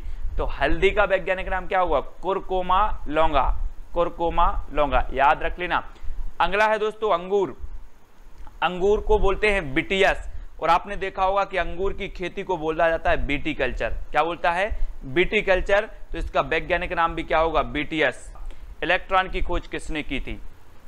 दो सेकंड है आपके पास, उत्तर आपको बताना है। तब आपका बिल्कुल सही आंसर हो जाएगा दोस्तों जे जे थॉमसन ने की थी। किसने की थी? जे जे थॉमसन ने। अब एक चीज़ यहाँ पर आ जाओ थोड़ा सा इलेक्ट्रिक, इलेक्ट्रॉनिक, इलेक्ट्रॉन मतलब यहाँ पर देखो, इलेक्ट्रॉन से आपको क्या समझ में आता? थोड़ी सी फीलिंग होगी, हो इलेक्ट्रिक, इलेक्ट्रॉन से इलेक्ट्रिक। और यहाँ पर आपको इलेक्ट्रिक वायर दिख रहा है। इस बच्चे ने क्या किया? इस इलेक्ट्रिक वायर को पकड़ लिया। और इसकी साँसें क्या हो गई? थम गई। इसकी साँसें थम गई। तो इलेक्ट्रॉन की खोज कौन करेंगे? थॉमसन करेंगे कि नहीं करेंगे? क्योंकि इलेक्ट्रिक वायर पकड़ा इलेक्ट्रॉन मतलब इलेक्ट्रिक और इलेक्ट्रिक वायर पकड़ लिया। आप भी पकड़ोगे तो आपकी भी साँसें थम जाएँगी। तो थॉमसन्स थॉमसन्स बिल्कुल सही हो जाएगा। ठीक है? याद रख लेना है आपको इलेक्ट्रॉन की खोज किसने की थी? थॉमसन्स ने की थी, ठीक है? याद हो रहा है तो वीडियो को लाइक ज़रूर करें। अगला देखते हैं दोस्तों, क्लोरीन की खोज किसने की? किलोरीन किलोरीन से क्या हो जाएगा आपका? किलो बन रहा है यहाँ पर, किलो। 50 किलो किलोरीन। अब आपको हिंट दे दी मैंने, आप जल्दी से बताएँ दो सेकंड में। तब आपका बिल्कुल सही आंसर होगा दोस्तों, सीले सीले, है ना? अब यहाँ पर देखो जरा, मैं बोलूँ, आप मेरे पास आए कि सर मुझे 50 किलो शक्कर दे दो। मैंने बोला, मैंने 50 किलो शक्कर तोल दी है, अब बोरी को सीले और ले जा। बोली को सीले और ले जा। कितने किलो? किलो से क्या हो जाएगा? किलोरीन। किलो से किलोरीन और सीले, है ना? मैंने 50 किलो 50 किलो बोरी में शक्कर भर दी है, सीले और ले जा। सीले और ले जा। तो क्लोरीन की खोज, सीले। याद रख लेना, किलो किलो से किलो शक्कर याद आ जानी चाहिए आपको, ठीक है? अगला आपका है, बारूद की खोज किसने की थी? आप बोलते हो, सर, बारूद लगी है, सिर्फ़ चिंगारी की देर है। वो ही है ये बारूद। बारूद की खोज किसने की थी, आपको बतानी है? किसने की थी? दो सेकंड है आपके पास। तब आपका राइट आंसर हो जाएगा, दोस्तों, रोजर बेकन। किसने की थी? रोजर बेकन ने। यहाँ पर देखो, ये जो बारूद है, ये रोज बिकना है। रोज बिकना है। मैं आपसे पूछूँगा, बारूद कब बिकना है? अब बोलोगे रोज बिकना है, बारूद कब बिकना है? अब बोलोगे रोज बिकना है। तो बारूद की खोज, रोजर बेकन। रोज बिकना है, रोजर बेकन। ठीक है? याद हुआ हो तो लाइक ज़रूर कर देना। ठीक है? अगला देखते हैं दोस्तों, ऐसे ही फनी वीडियो आप तक आएँगे। लाइक करके शेयर ज़रूर करना। मलेरिया की चिकित्सा की खोज किसने की थी? मलेरिया। मलेरिया सभी लोगों को होता है है ना? मच्छर काटते हैं तो मलेरिया हो जाता है। एडीज मच्छर, है ना? तो बताना है दो सेकंड में आपको। तब आपका बिल्कुल सही आंसर हो जाएगा दोस्तों, रोनाल्ड रॉस। मलेरिया की खोज किसने की थी? रोनाल्ड रॉस ने। अब आपको अगर मलेरिया हो जाए, भगवान ना करे तो आप क्या करोगे? रोने लगोगे और आपको कुछ भी रॉस नहीं आएगा। ना खाना रॉस आएगा, ना किसी से बात करना रॉस आएगा। मलेरिया की चिकित्सा की खोज कौन करेंगे? Ronald Ross. कौन करेंगे? Ronald Ross. क्योंकि मलेरिया हो गया तो रोने लगोगे और कुछ भी रॉस नहीं आएगा तो रोनाल्ड रॉस। दोस्तों, याद हुआ कि नहीं हुआ? ठीक है, रोनाल्ड रॉस आपको याद हो गया होगा। दोस्तों, बताना है अब आपको, पोलियो की वैक्सीन की खोज किसने की थी? आपने भी पोलियो की दवाई पी होगी छोटे में, है ना? वो लोग आते थे, बोले आ करो और डाल दिए एक बूंद, है ना? ज़िंदगी के लिए दो बूंद। पोलियो के जो ब्रांड एम्बेसडर हैं, हाल ही में बढ़ते कौन है? अमिताभ बच्चन साहब हैं। और पोलियो की वैक्सीन की खोज किसने की थी? ये चीज़ हमें बतानी है। तो आपका बिल्कुल सही आंसर क्या हो जाएगा? हो जाएगा, दोस्तों, साल्क। क्या हो जाएगा साल्क? अब साल्क से क्या बनेगा? साग साग सब्ज़ी, है ना? साग सब्ज़ी। पहले क्या करते थे? इस प्रकार से पिला देते थे। बोलो, आ करो और पिला दी। अब हमें साग सब्ज़ी में पिला साग सब्ज़ी में खाना है। काय में खाना है? साग सब्ज़ी। बोले, सर, अब हम पियेंगे नहीं। अब तो हम साग सब्ज़ी में खाएँगे। क्या? पोलियो। तो पोलियो की खोज साल्क ने की थी। अब हम पियेंगे नहीं, हमें काय में खाना अब साग सब्ज़ी में खाएँगे। तो पोलियो की वैक्सीन की खोज किसने की थी? साल्क ने। अब याद हो गया होगा आपको। ठीक है? देखें, टीबी की चिकित्सा की खोज किसने की थी? दोस्तों, टीबी यानी कि क्षय रोग, है ना? तो टीबी की चिकित्सा की खोज किसने की थी? दो सेकंड दिए जाते हैं आपको। तो आपका बिल्कुल सही आंसर हो जाएगा दोस्तों रॉबर्ट कोच। रॉबर्ट कोच ने की थी टीबी की चिकित्सा की खोज। आपने बिल्कुल सही आंसर बताया। यहाँ पर देखो, अब कोच से आपको याद नहीं आया कि सर आजकल रेलवे में स्मार्ट कोच लगने लगे हैं, जहाँ पर टीबी भी उपलब्ध है। क्या लगने लगे स्मार्ट कोच यहाँ पर देखो, ये स्मार्ट कोच है। यहाँ पर टीबी भी सब उपलब्ध है। तो टीबी की जो वैक्सीन है, इसकी खोज कौन करेगा? कोच ही होगा ना कोई कोच तो रॉबर्ट कोच इस प्रकार से याद कर लेना। ठीक है? टीबी की चिकित्सा की खोज की थी किसने? रॉबर्ट कोच ने। अब टीबी कोच में भी लगने वाले लगे हैं रेलवे कोच में। तो इस प्रकार से याद करना है। अगला देखो टाइफाइड की जो जीवाणु है, इसकी खोज किसने की थी? टाइफाइड मोतीचरा बोल देते हैं इसको, मोतीचरा। आपको कभी हुआ हो, है ना, या किसी को हुआ हो, आपको पता होगा तो जल्दी से बताएँ, दो सेकंड दिए जाते हैं आपको। तब आपका बिल्कुल सही आंसर हो जाएगा दोस्तों, रोबर्थ। टाइफाइड के जीवाणु की खोज किसने की थी? रोबर्थ ने की थी। अब यहाँ पर आ गया बर्थ। क्या आ गया बर्थ? हम बोल देंगे कि आपका बर्थ क्या है? तो आप बोलोगे, सर, आज ही तो है मेरा बर्थ। यानी कि आज क्या है आपका बर्थडे है है ना? क्या है आज का बर्थडे है तो आप क्या करोगे? टाइफाई लगा के आओगे और मैं बोलूँगा सच क्या बात है? टाइफाई लगा के आ गए, दोस्त।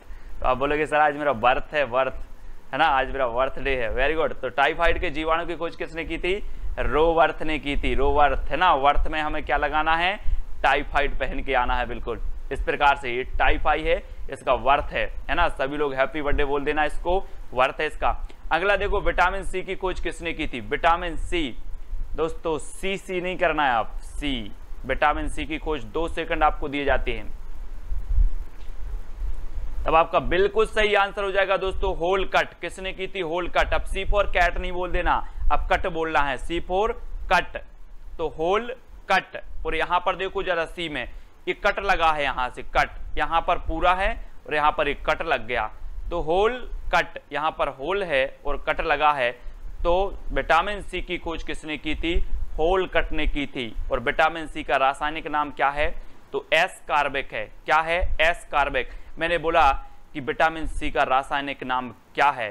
तो आपने बोला, सर, सी फॉर तो कार होता है और कार बिक रही है। मैंने बोला, कार बिक रही है? कि हाँ एस कार बिक रही है। तो एस कार बिक अम्ल, ठीक है? विटामिन सी का रासायनिक नाम भी हो जाएगा और विटामिन सी की खोज की थी होल कटने, ऐसे भी याद करना है।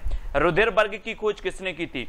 अब दोस्तों, आपको ट्रिकी वे में याद करना है। आप लोग बोलते हैं कि मेरे नंबर कम क्यों आते हैं? आप कुछ नया करो, पढ़ते तो आप बहुत हो, लेकिन कुछ ऐसी चीज़ें याद करो जिसको जानते हुए भी आप पेपर में गलत करके आते हो, ऐसी ट्रिक से याद करो कि आपके माइंड में वो सेट हो जाए। आप लगातार बने रहे इस चैनल पर, आपको ट्रिक की ट्रिक वीडियो मिलेंगे। रुधिर वर्ग की खोज किसने की थी? रुधिर वर्ग यानी कि ब्लड ग्रुप।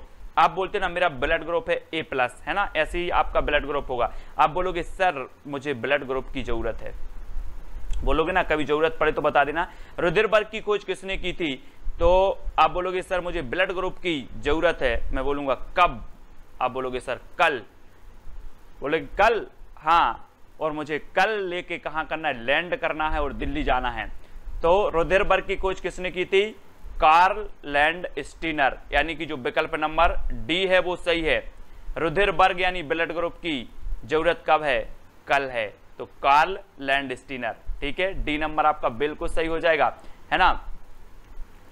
अगला बताना है दोस्तों, आपको इंसुलिन की खोज किसने की थी?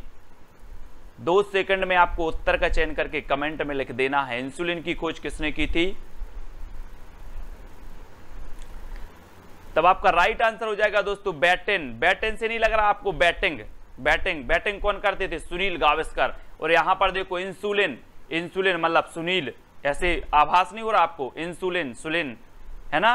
तो सुनील गावस्कर क्या करते थे? बैटिंग करते थे।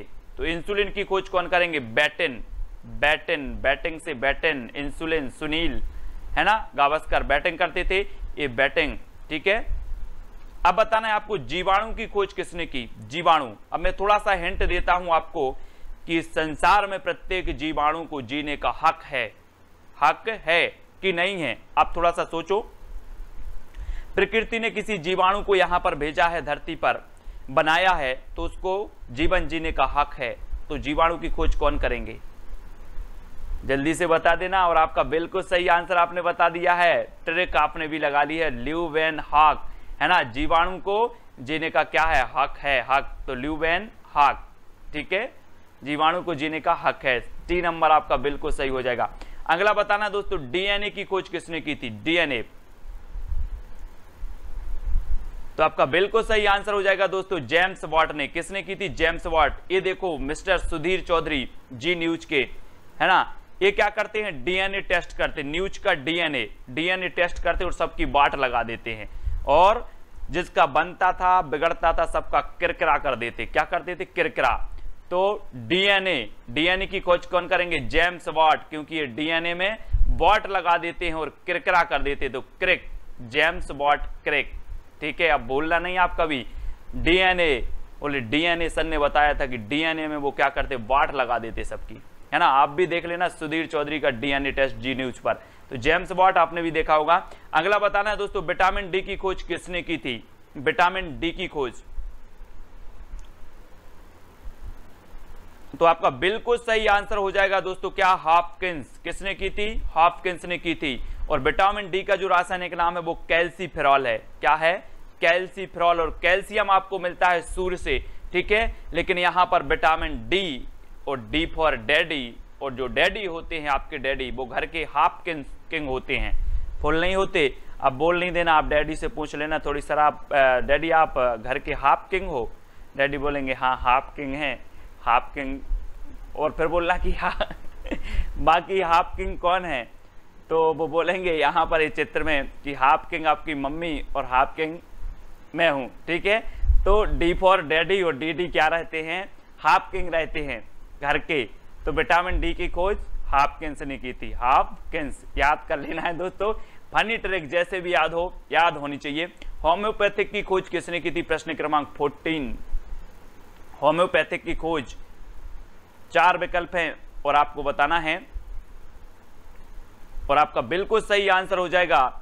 विकल्प नंबर आ। विकल्प नंबर आ यानी कि हनी, हैनी मैन। अब हनी मून नहीं बोल देना। नहीं तो बोले, सर, मैं तो हनीमून मनाने जा ऐसा नहीं है।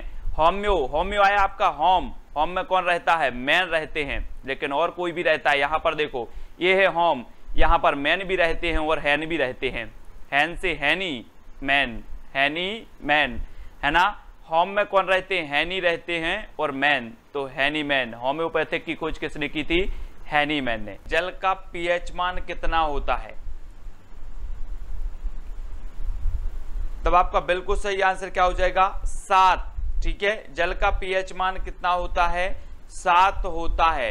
और एक चीज़ बताना दोस्तों कि जल जो है, हम बोलते ना कि जल है तो कल है, और ज़िंदगी भर हमारा साथ नहीं छोड़ेगा तो कौन नहीं छोड़ेगा?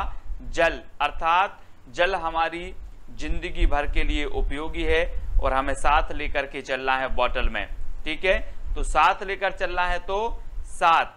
जल का पीएच मान क्या हो जाएगा? सात। ठीक है, जल हमें साथ लेकर चलना है तो पीएच मान सात। ठीक है, याद हो रहा ना आपको? अगला देखो, नमक का पीएच मान कितना होता है? नमक का। नमक का पीएच मान बताना है। तब आपका बिल्कुल सही आंसर क्या हो जाएगा? सात। ठीक है, जिस प्रकार हमें जल को साथ में लेकर के चलना है, वैसे ही जब आप खाना बनाते हो या कुछ करते हो तो नमक साथ में लेते हो कि नहीं लेते? नमक का साथ होना भी उसी प्रकार ज़रूरी है। ठीक है?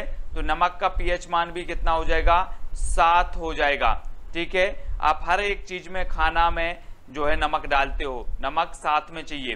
तो नमक तो होनी चाहिए आपके साथ तो साथ हो जाएगा नमक का पीएच मान। ठीक है? अगला देख लो। रक्त का पीएच मान कितना होता है? रक्त का पीएच मान बताना है। तब आपका राइट आंसर क्या हो जाएगा? सात दशमलव चार। ये रक्त का पीएच मान होता है। ठीक है? अब दोस्तों, एक चीज़ बताना कि रक्तदान जो शिविर है, वो सप्ताह के सातों दिन लगना चाहिए कि नहीं? लगना चाहिए सातों दिन।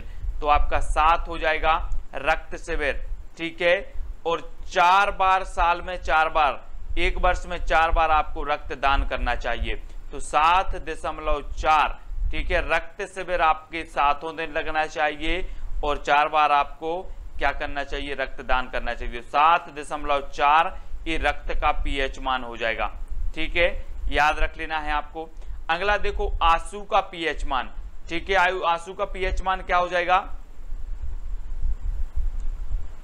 तब आपका बिल्कुल सही आंसर होगा दोस्तों। सात दशमलव चार। अब एक चीज़ बताना कि जब सप्ताह के सातों दिन शिविर लगेगा, रक्त शिविर, रक्तदान शिविर, ठीक है? और आप वर्ष में चार बार डोनेट करोगे तो किसी की आँखों में आँसू आ पाएँगे क्या? नहीं आ पाएँगे। तो आँसू का पीएच मान कितना हो जाएगा? सात दशमलव चार, ठीक है? इस प्रकार से याद रख लेना। आँसू नहीं आएँगे अगर व्यक्ति सप्ताह के सातों दिन और वर्ष में चार बार ब्लड डोनेट करेंगे तो। ठीक है? अगला आपको बताना है दोस्तों, नींबू का पीएच मान कितना है? नींबू सभी लोग जानते होंगे। नींबू का पीएच मान कितना होता है? तब आपका बिल्कुल सही आंसर हो जाएगा दोस्तों, दो चार। ठीक है? टू पॉइंट फोर, दो चार। अब एक चीज़ बताना, ये दस का नोट है है ना? ये सौ का नोट है। अब आप दस का नोट लेके जाना, दस का नोट लेके जाना और बोलना नींबू दे दो। तो आपको सौ नींबू नहीं मिलेंगे। कितने मिलेंगे? दो चार नींबू मिलेंगे। ठीक है? दस रुपया के आपको दो चार नींबू मिलेंगे। जरा जाके देख लेना तो नींबू का पीएच मान कितना होगा? 2.4 यानी कि दो चार। ठीक है? नींबू का दो चार। ठीक है? अगला देखो, याद हो रहा है तो वीडियो को लाइक ज़रूर करें। दूध का पीएच मान आपको बताना है। दूध का पीएच मान कितना होता है? तब आपका राइट आंसर हो जाएगा दोस्तों 6.4 अर्थात 64 ठीक है? आज महँगाई के दौर में आपको पता है, दूध कितने रुपया लीटर है? चौसठ रुपया, है ना? 6.4 यानी चौसठ। तो चौसठ रुपया लीटर है दूध। ठीक है? तो दूध का पीएच मान कितना हो जाएगा?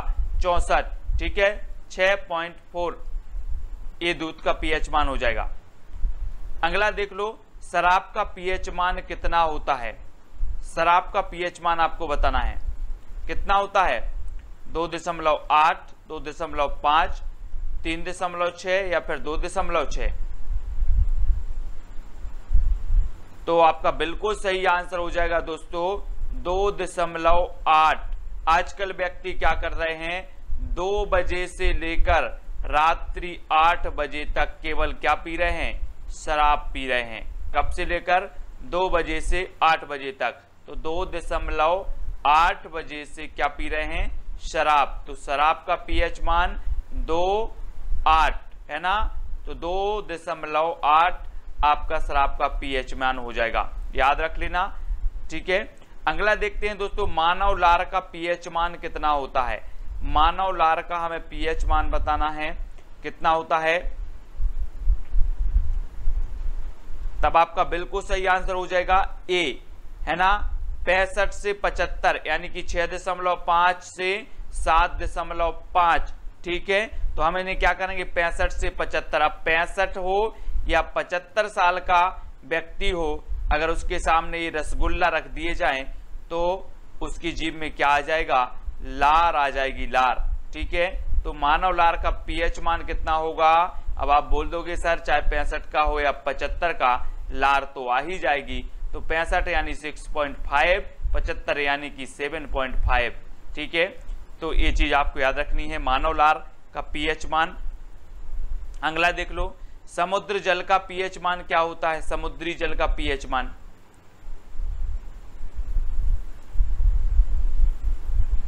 तब आपका बिल्कुल सही आंसर होगा आठ दशमलव पाँच, ठीक है? कितना होता है? आठ दशमलव पाँच होता है। काय का? समुद्री जल का। ये है समुद्र। और ये जो समुद्र है, यहाँ से कितने किलोमीटर दूर है? पचासी किलोमीटर दूर है। और यहाँ तक का किराया भी आपको पचासी लगना है।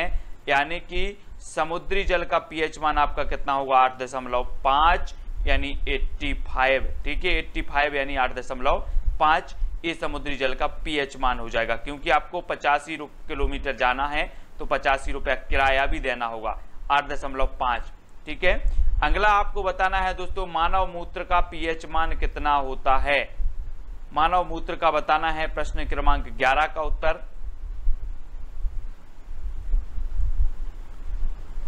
तब आपका बिल्कुल सही आंसर हो जाएगा चार दशमलव आठ से आठ दशमलव चार। अब चार दशमलव आठ है, यहाँ पर उल्टा कर दो, आठ दशमलव चार। ये क्या है?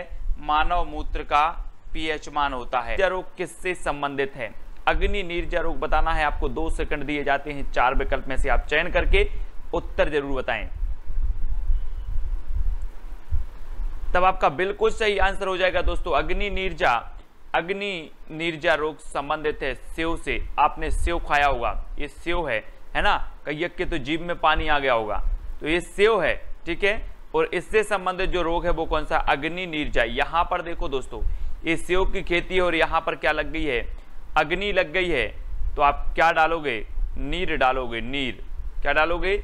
नीर डालोगे तो अग्नि नीरजा काय की खेती में, सेव की खेती में, है ना? सेव की फ़सल में अग्नि लग गई है तो आप नीर डालोगे तो अग्नि नीरजा जो रोग होगा, वो किससे संबंधित होगा? सेव से संबंधित होगा। याद रख लेना, याद हुआ कि नहीं हुआ? अग्नि नीरजा सेव से संबंधित। अगला है, ब्राउनिंग रोग किससे संबंधित है? ब्राउन मतलब क्या होता है दोस्तों? आपने पढ़ा होगा, ब्राउन मतलब क्या होता है? भूरा। ठीक है? और आप यहाँ पर देखें कि धान, गेहूँ, नींबू फूल गो फूल गोभी इनमें से भूरा कौन होता है? भूरा। जल्दी से बताएँ और उत्तर आपको बताना है। ब्राउनिंग रोग किससे संबंधित है? तब आपका राइट आंसर क्या हो जाएगा? आपने बिल्कुल सही बताया है फूल गोभी ठीक है? ब्राउनिंग रोग संबंधित है। दोस्तों, ये देखो फूल गोभी। चित्र के माध्यम से आप देख सकते हैं। भूरी है बिल्कुल, है ना? और ये ब्राउन जो रोग होगा, ये फूल गोभी से संबंधित होगा। यानी कि जो बी नंबर है, वो बिल्कुल सही है। ठीक है? अगर याद हो रहा है तो वीडियो को लाइक ज़रूर करें और शेयर ज़रूर करना है। और फेसबुक पे जुड़ जाना है सेल्फ स्टडी क्लास से इस विश्व में जैन। अपना पेज है जो, उससे ज़रूर जुड़ना है। यूट्यूब पर सर्च करना है सेल्फ स्टडी क्लासेस विश्व में जैन। ठीक है? हर राट रोग बताना है। हर राट रोग संबंधित है। किससे संबंधित है? हर राट रोग। तब आपका राइट आंसर हो जाएगा दोस्तों, चुकंदर। हर रॉट रोग संबंधित है चुकंदर से। अब आपको याद रख लेना, अगर आप कमज़ोरी है आपको तो आपको खाना है। हर रात को हर रात को क्या खाना है? हर रात को खाना है चुकंदर। तो हर रात हर रात मतलब हर रात को क्या खाना है? चुकंदर खाना है। तो चुकंदर से संबंधित जो रोग हो जाएगा, वो कौन सा हो जाएगा? हर राट ठीक है? हर राट रोग। याद हो रहा है? तो लाइक ज़रूर करें। अगला प्रश्न आपको बताना है, मार्स रोग किससे संबंधित है? मार्स रोग बताना है कि किससे संबंधित है? चुकंदर से फूल गोभी से, मटर या फिर नींबू से? तो मार्स रोग आपका बिल्कुल सही आंसर होगा दोस्तों, मटर, है ना? मटर से संबंधित है मार्स रोग। अब मार्स से क्या बजाएगा मास। मास मतलब महीना, है ना? हर महीने आपको क्या खाना है? हर मास आपको खाना है मटर। हर मास आपको मटर खाना है। तो मार्स रोग कौन सी फ़सल से संबंधित होगा? मटर से संबंधित होगा मार्स ठीक है? हर मास क्या खाना है आपको? मटर खाना है। ठीक है? तो मटर से संबंधित है। अगला देख लो। बंची टॉप रोग किससे संबंधित है? Bunchy top. ये किससे संबंधित है? तो आपने बिल्कुल सही बताया दोस्तों, केला। केला आपका बिल्कुल सही है। यहाँ पर देखो चित्र में, ये केला यहाँ पर बांटे जा रहे हैं, है ना? आपको भी जल्दी पहुँचना है। नहीं तो आप क्या रह जाओगे? वंचित रह जाओगे, वंचित, है ना? टॉप में पहुँचना है हमें, नहीं तो वंचित रह जाओगे तो बंची टॉप। बंची टॉप रोग किससे संबंधित होगा? केला से संबंधित होगा, ठीक है? केला यहाँ पर वितरण किया जा रहा है केला आप देख रहे हैं चित्र में, और नहीं तो आप जल्दी नहीं पहुँचे, टॉप में नहीं पहुँचे तो आप वंचित रह जाओगे। तो बंची टॉप रोग किससे संबंधित होगा? केला से। हो रहा है ना आपको याद? बिल्कुल सही। वेरी गुड तो लाइक ठोक दीजिए। अगला देखते हैं, टिक्का रोग किससे संबंधित है? टिक्का बताना है आपको। टिक्का टिक्का हो जाते ना, आप लोग गाँव में बोलते टिक्का टिक्का हो गया यार। तो टिक्का रोग बताना है आपको। तब आपका बिल्कुल सही आंसर होगा दोस्तों। यहाँ पर देखो, मूंगफली से संबंधित है। ये है टिक्का रोग। यहाँ पर आप मूंगफली के पत्ते देख रहे हैं, ये आपको टिक्का टिक्का, टिक टिक लगा रहा है, टिक, है ना? हम बोलते हैं ना, टिक लगा दो यार, टिक। तो ये टिक टिक हो गया, इस रोग को कह दिया टिक्का रोग। क्या कह दिया? टिक्का। तो ये मूंगफली से संबंधित है टिक्का रोग, ठीक है? कैसे? मूंगफली से संबंधित है। तो याद रख लेना है, मूंगफली टिक्का टिक्का, ठीक है? अगला देख लो। डाईबैक रोग किससे संबंधित है? डाईबैक तो आपका बिल्कुल सही आंसर हो जाएगा दोस्तों। कैसे संबंधित है, नींबू से संबंधित है डाईबैक है ना? और आप जब बालों में डाई करते हो, बालों में डाई तो नींबू अवश्य डालते हो, है ना? बालों में डाई करते हो तो नींबू डालते हो। बालों में डाई करते हो आप ब्लैक करने के लिए ब्लैक तो डाई ब्लैक करने के लिए नींबू डालते हो, नींबू। और यहाँ पर देखो, ये है नींबू। इसमें क्या होता है? ये पत्तों में लग जाती है और इस प्रकार से इसमें पत्ते नहीं बचते पूरे। ये डाईबैक रोग होता है नींबू में। ठीक है, चित्र के माध्यम से आपको समझ में आ गया होगा ये क्या है, डाईबैक रोग होता है काय में? नींबू से संबंधित है, नींबू की फ़सल से, ठीक है, नींबू के पौधे से संबंधित। अगला देखो क्वेश्चन नेक्रोसिस नेक्रोसिस रोग किससे संबंधित है? आपको यहाँ नहीं लग रहा कि न करो कोशिश नेक्रोसिस न करो कोशिश है ना?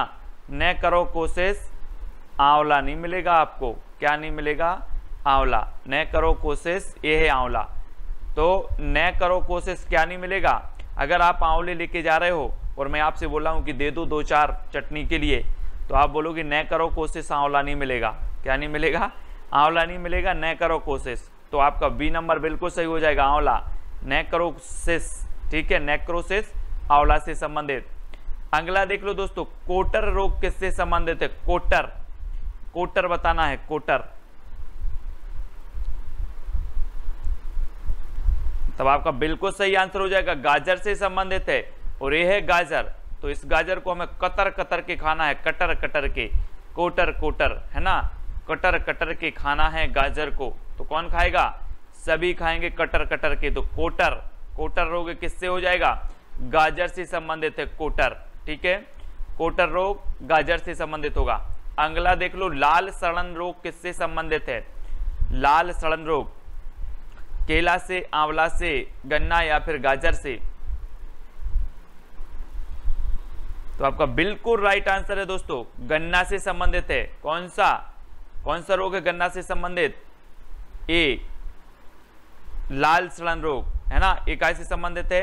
गन्ना से संबंधित। यहाँ पर देखो ये है लाल सड़न रोग। इस प्रकार से गन्ना में लाल सड़न रोग लग जाता है और गन्ना क्या हो जाता है? खराब हो जाता है। ये गन्ना की फ़सल आप देख रहे हैं इसमें। लाल सड़न रोग लगता है, ठीक है? तो गन्ने से संबंधित है लाल सड़न रोग। अगला देख लो दोस्तों, रस्ट रस्ट व टुंडू रोग किससे संबंधित है? रस्ट व टुंडू।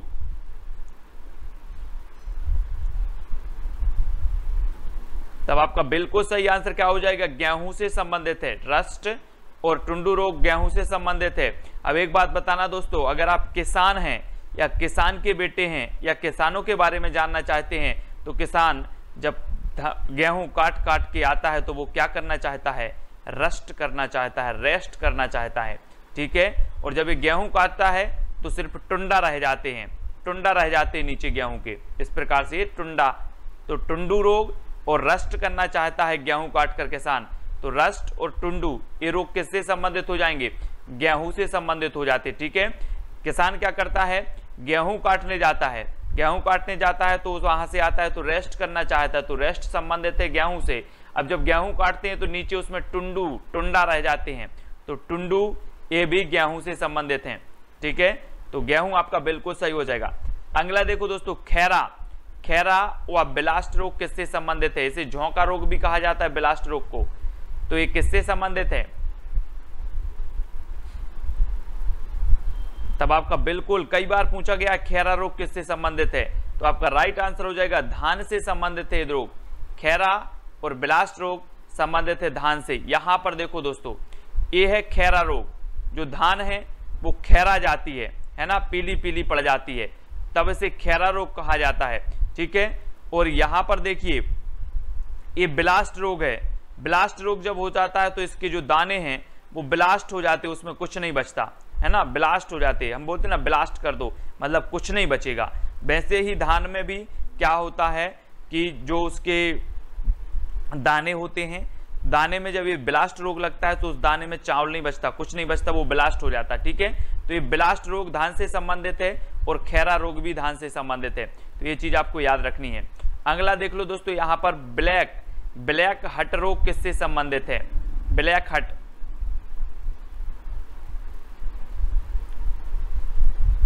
तो आपका राइट आंसर होगा दोस्तों, आलू से संबंधित है। ब्लैक हट रोग किससे संबंधित है? आलू से संबंधित है। अब आपने आलू देखा होगा, ये है आलू।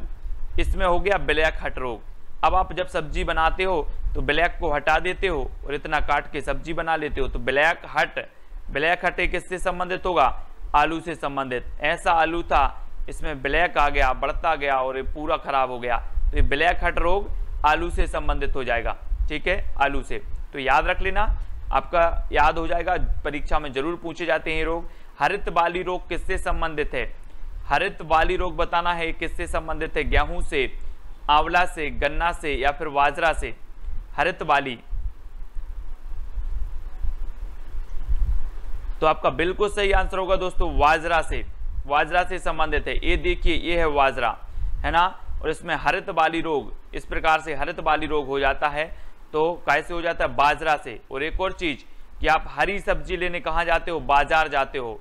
बाज़ार जाते ना हरी सब्ज़ी लेने? तो हरित बाली हरित बाली सब्ज़ी, बाज़ार जाना है। हरित बाली सब्ज़ी लेने कहाँ जाना है? बाज़ार। तो बाजरा से, बाज़ार से बाजरा।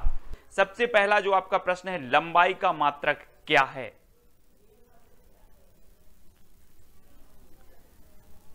तब आपका बिल्कुल सही आंसर क्या हो जाएगा? मीटर, यानी कि जो अ नंबर है वो सही है। लंबाई का मात्रक क्या है? मीटर। अब आपको पता है कोई लंबाई, ये लंबाई आपको नापनी है तो आप कैसे नापोगे? एक मीटर, दो मीटर, है ना? तो मीटर से नापोगे।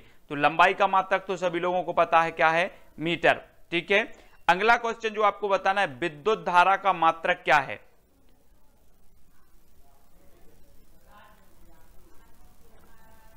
तब आपका राइट आंसर हो जाएगा दोस्तों एम्पियर एम्पियर यानी कि जो विकल्प नंबर आपका वी है, वो सही हो जाएगा। अब इसको कैसे याद रखना है? एम्पियर से क्या बनेगा? एम्पलीफार्म ठीक है? और एम्पलीफार्म को चलाने के लिए आपको विद्युत की ज़रूरत होती है। तो आप याद रख लेना, विद्युत की धारा का यहाँ पर आएगी एम्पलीफार्म में तब ये एम्पलीफार्म चलेगा। ठीक है? तो विद्युत धारा का आपका ऐसा ही मात्रा क्या हो जाएगा? एम्पलीफार्म यानी कि एम्पियर ठीक है? इस प्रकार से याद रखना है। अगला देख लेते हैं दोस्तों, द्रव्यमान का मात्रक है। द्रव्यमान का मात्रक बताना है आपको।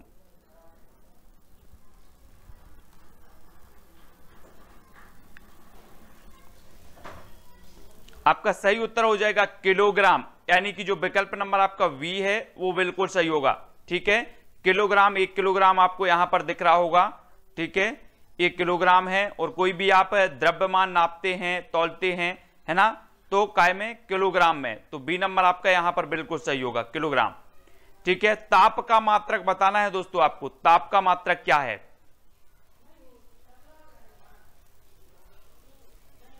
तब आपका राइट आंसर क्या हो जाएगा? वो हो जाएगा दोस्तों केलबिन। क्या है? केलबिन ताप का मात्रक माना जाता है। केलबिन से क्या बनेगा? केला।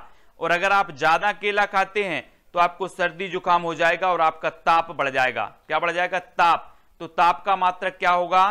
ताप आपका बढ़ेगा केला खाने से, सर्दी जुकाम होता है, केला से बनेगा केलबेन। तो ताप का मात्रक क्या होगा? केलबेन। अब याद रख लेना है आपको, अगर ताप की बात आए तो आपका ताप कैसे बढ़ेगा आपको याद रख लेना है, केला खाने से। केला खाया, सर्दी जुकाम हुआ और केलबेन आपका हो जाएगा सही। ठीक है? अगला दोस्तों, आपको बताना है ज्योति तीव्रता का मात्रक क्या है?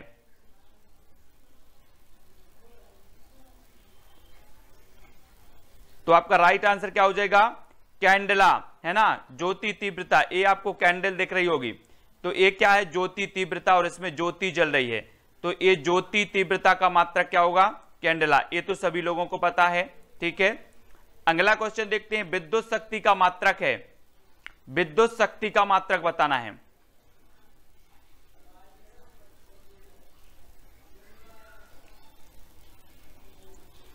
तब आपका बिल्कुल सही आंसर क्या हो जाएगा? बाट। अब एक चीज़ बताना दोस्तों, ये विद्युत का तार आया है यहाँ पर, और आपको इसने, आपने इसको पकड़ लिया, ठीक है?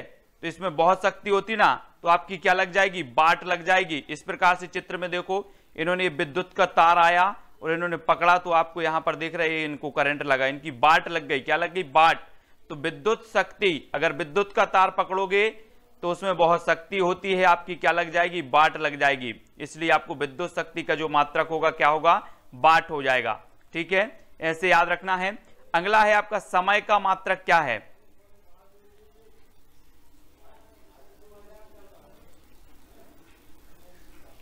तब आपका बिल्कुल सही आंसर होगा सेकंड। समय का मात्रक है सेकंड। आप घड़ी में देख रहे होंगे एक एक सेकंड आपके लिए कीमती होता है। ठीक है? तो समय का मात्रक सेकंड सभी लोगों को पता है, याद भी आपको है। नेक्स्ट देखो, कार और ऊर्जा का मात्रक क्या है? कार और ऊर्जा का मात्रक यहाँ पर बताना है हमें।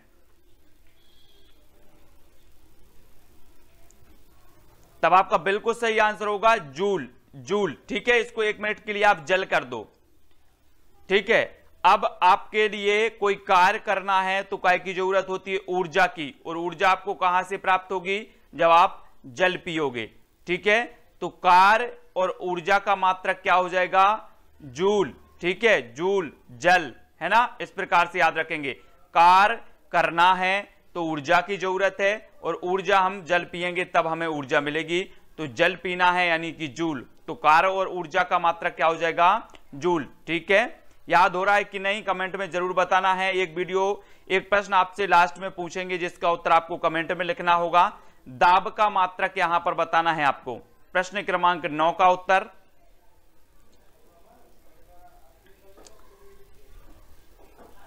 तब आपका राइट आंसर क्या हो जाएगा? दाब का मात्रक क्या होता है? उत्तर आपने बताया है पास्कल। ठीक है, पास्कल। अब एक चीज़ बताना दोस्तों, जब आप परीक्षा की तैयारी कर रहे हैं तो बिना दबाव बिना दबाव के क्या आप पास हो सकते हो? नहीं, है ना? आपके ऊपर दबाव है, कायका की परीक्षा पास करना है। दाब से दबाव है, कायका परीक्षा पास करने का। तो दाब का मात्रक क्या हो जाएगा? पास्कल, ठीक है? पास्कल। ऐसे याद भी करना है। अगला क्वेश्चन देखो, प्रेरक का मात्रक क्या है? प्रेरक।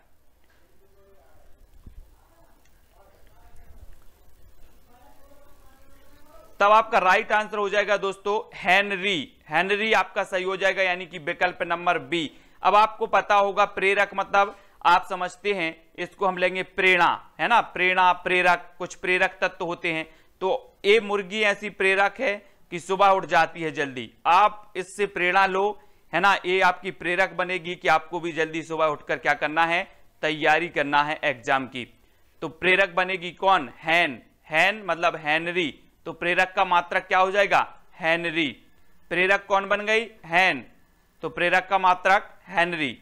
ठीक है? इस प्रकार से आपको याद रखना है। अगला क्वेश्चन देख लो। बल का मात्रक क्या है?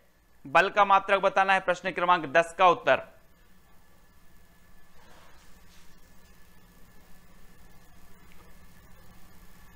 तब आपका राइट आंसर हो जाएगा दोस्तों न्यूटन। ठीक है, क्या है? न्यूटन ये बल का मात्रक माना जाता है। अब एक चीज़ बताना, आप लगातार प्रयास करते हो कि हमें न्यू बल मिल जाए, न्यू न्यू, नया नया बल मिलते जाए इस प्रकार से। आप बनना चाहते हो शक्तिशाली, नए नया बल प्राप्त करना चाहते, नए नए बल प्राप्त करना चाहते हो तो न्यू टान, है ना? न्यू टान, इस प्रकार से याद रख लेना है आपको। तो बल का मात्रक क्या हो जाएगा? न्यूटन यानी कि जो विकल्प नंबर आपका ए है, वो बिल्कुल सही होगा। अगला देखो, बल का मात्रक है तो न्यूटन तो आपका बल का मात्रक बिल्कुल सही है। नेक्स्ट है, आवेश का मात्रक आपको बताना है। आवेश। आवेश का मात्रक क्या है? आप लोग बोलते ना कि आप आवेश में आ जाते हो, गुस्सा आ जाता है। तो गुस्सा के लिए क्या होना चाहिए? है ना? हम लोग क्या करते हैं? ठंडा पानी दो, ठंडा पानी दो, कूल पानी। तो अगर कोई आवेश में आ जाए तो आपको क्या करना है? उसे कूल डाउन करना है। कूल कूल पानी देना है तो कूलाम। आवेश में कूलाम। ठीक है? आवेश में कोई आता है तो उसे कूल करना है तो कूलाम। तो आवेश का मात्रक क्या हो जाएगा? कूलाम। इस प्रकार से याद रखना। अगला देखो, आवृत्ति का मात्रक क्या है? आवृत्ति। न्यूटन, हेनरी, हर्टज या फिर कूलाम?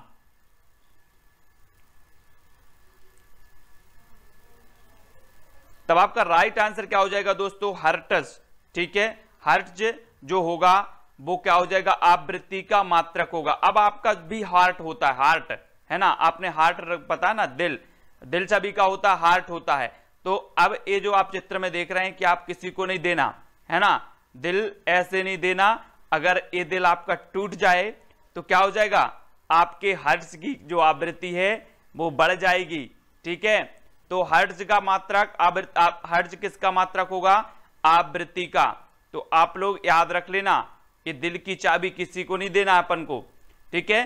तो आवृत्ति का मात्रक हर्ज, ठीक है? तो हर्ज से क्या बनेगा? हार्ट, और हार्ट की आवृत्ति कब बढ़ती है? जब दिल टूटता है, ठीक है? तो याद रखें, अगला क्वेश्चन देखो, चाल का मात्रक है तो क्या है? चाल का मात्रक बताना है प्रश्न क्रमांक तेरह का उत्तर।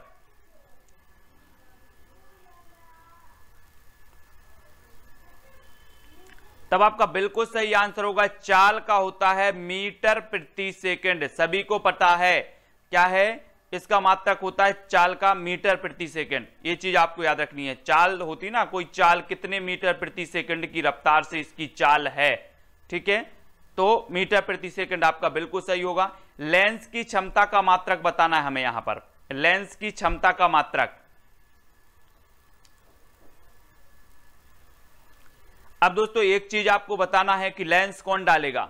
डॉक्टर। डॉक्टर से मिलता जुलता आपका शब्द कौन है? डाई ऑफ्टर है ना? Die after doctor. इस प्रकार से तो लेंस कौन डालेगा? डॉक्टर। और डॉक्टर से जो मिलता जुलता आपका शब्द है डाई ऑफ्टर डॉक्टर। है ना? तो डॉक्टर आपका सही हो जाएगा, लेंस की क्षमता का मात्रक। डाई ऑफ्टर अगला क्वेश्चन देखो, प्रतिरोध का मात्रक क्या है? दोस्तों, अभी आपने देखा होगा कि कोरोना संक्रमण फैला और उसमें कहा गया कि प्रतिरोधक क्षमता बढ़ाएँ, रोग प्रतिरोधक क्षमता बढ़ाएँ। तो प्रतिरोध प्रतिरोध प्रतिरोध, रोग प्रतिरोधक अगर क्षमता आपको बढ़ाना है तो आपसे कहा गया कि आप नित्य क्या करें? योग करें। योग जब आप करते हो तो आप बोलते हो, ओम। इस प्रकार से करते ना? तो ओम, प्रतिरोध का मात्रक क्या है? ओम। अगर आपको प्रतिरोधक क्षमता बढ़ाना है तो क्या करना होगा? ओम का योग करना होगा, जप करना होगा। तो प्रतिरोधक का मात्रक क्या होगा? ओम। याद रखो, अगला है दोस्तों, ध्वनि तीव्रता का मात्रक क्या है? ध्वनि तीव्रता। न्यूटन, केल्विन, ओम या फिर डेसिबल।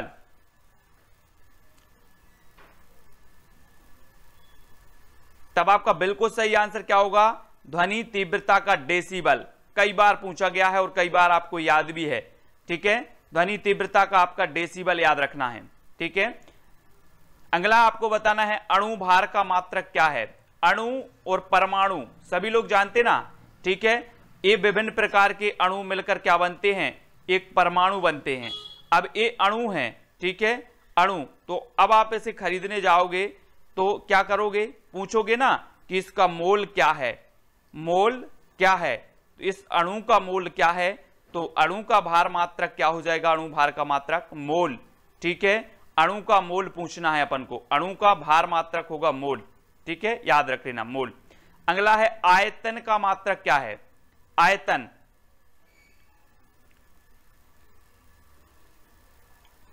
तो सभी लोगों को पता है, घन मीटर। ठीक है? आयतन का मात्रक होता है दोस्तों, घन मीटर। सभी लोग याद रखेंगे। घन मीटर आयतन का मात्रक हो जाएगा। अगला देख लो विद्युत विभाव विद्युत विभाव, विभवांतर का मात्रक क्या है? विद्युत विभव, विभवांतर का मात्रक क्या हो जाता है? मात्रक हो जाता है दोस्तों बोल्ट ठीक है? तो याद रख लेना, जहाँ पर भी विद्युत के ऐसे वायर आए, इस प्रकार से विद्युत के तो इसको अंतर से अंतर से बोल्ट कसना है। ये वाले बोल्ट जो हैं यहाँ पर कसे जाएँगे? तो ये अंतर से कसना है जिस प्रकार से तो विभव अंतर, विभवांतर, है ना? विद्युत विभव या फिर विभवांतर का मात्रक क्या हो जाता है? बोल्ट। क्योंकि विद्युत विभवांतर में अंतर से बोल्ट कसना है, अंतर से। अंतर से क्या कसना है? बोल्ट। तो अंतर, विभवांतर आपको याद रख लेना बोल्ट इसका मात्रक हो जाएगा। अगला है दोस्तों, कोण का मात्रक क्या है? कोण। कोण का मात्रक आपको बताना है।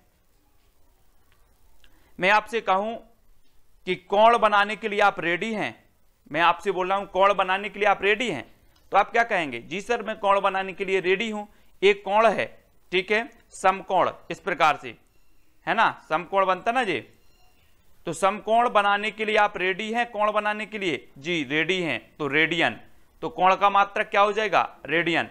है ना? तो आप रेडी रहिए कौन बनाने के लिए और वीडियो देखते रहिए वीडियो को शेयर करती रहिए और इसी प्रकार से न्यू न्यू ट्रिक से हम मात्रक पीएच मान और भी बहुत सारी ऐसी चीज़ें लाने वाले हैं जो आपके लिए बहुत ही महत्वपूर्ण है।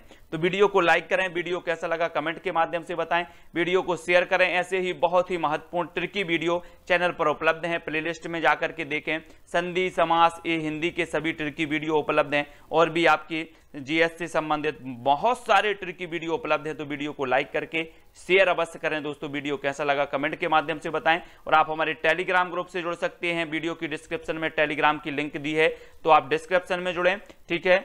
और अगर नहीं जुड़ पा रहे हैं तो टेलीग्राम ऐप डाउनलोड करो, उसमें सर्च करो I A S study trick. I A S इस प्रकार से आपको टेलीग्राम में I A S study trick search करना है और ज्वाइन हो जाना है। ठीक है? सभी लोगों को वीडियो कैसा लगा कमेंट के माध्यम से ज़रूर बताएँ और भी आगे इसी प्रकार की न्यू न्यू ट्रिक लाते रहेंगे ताकि आपको याद होता रहे, एग्ज़ाम में आप पास होते रहें। जय हिंद।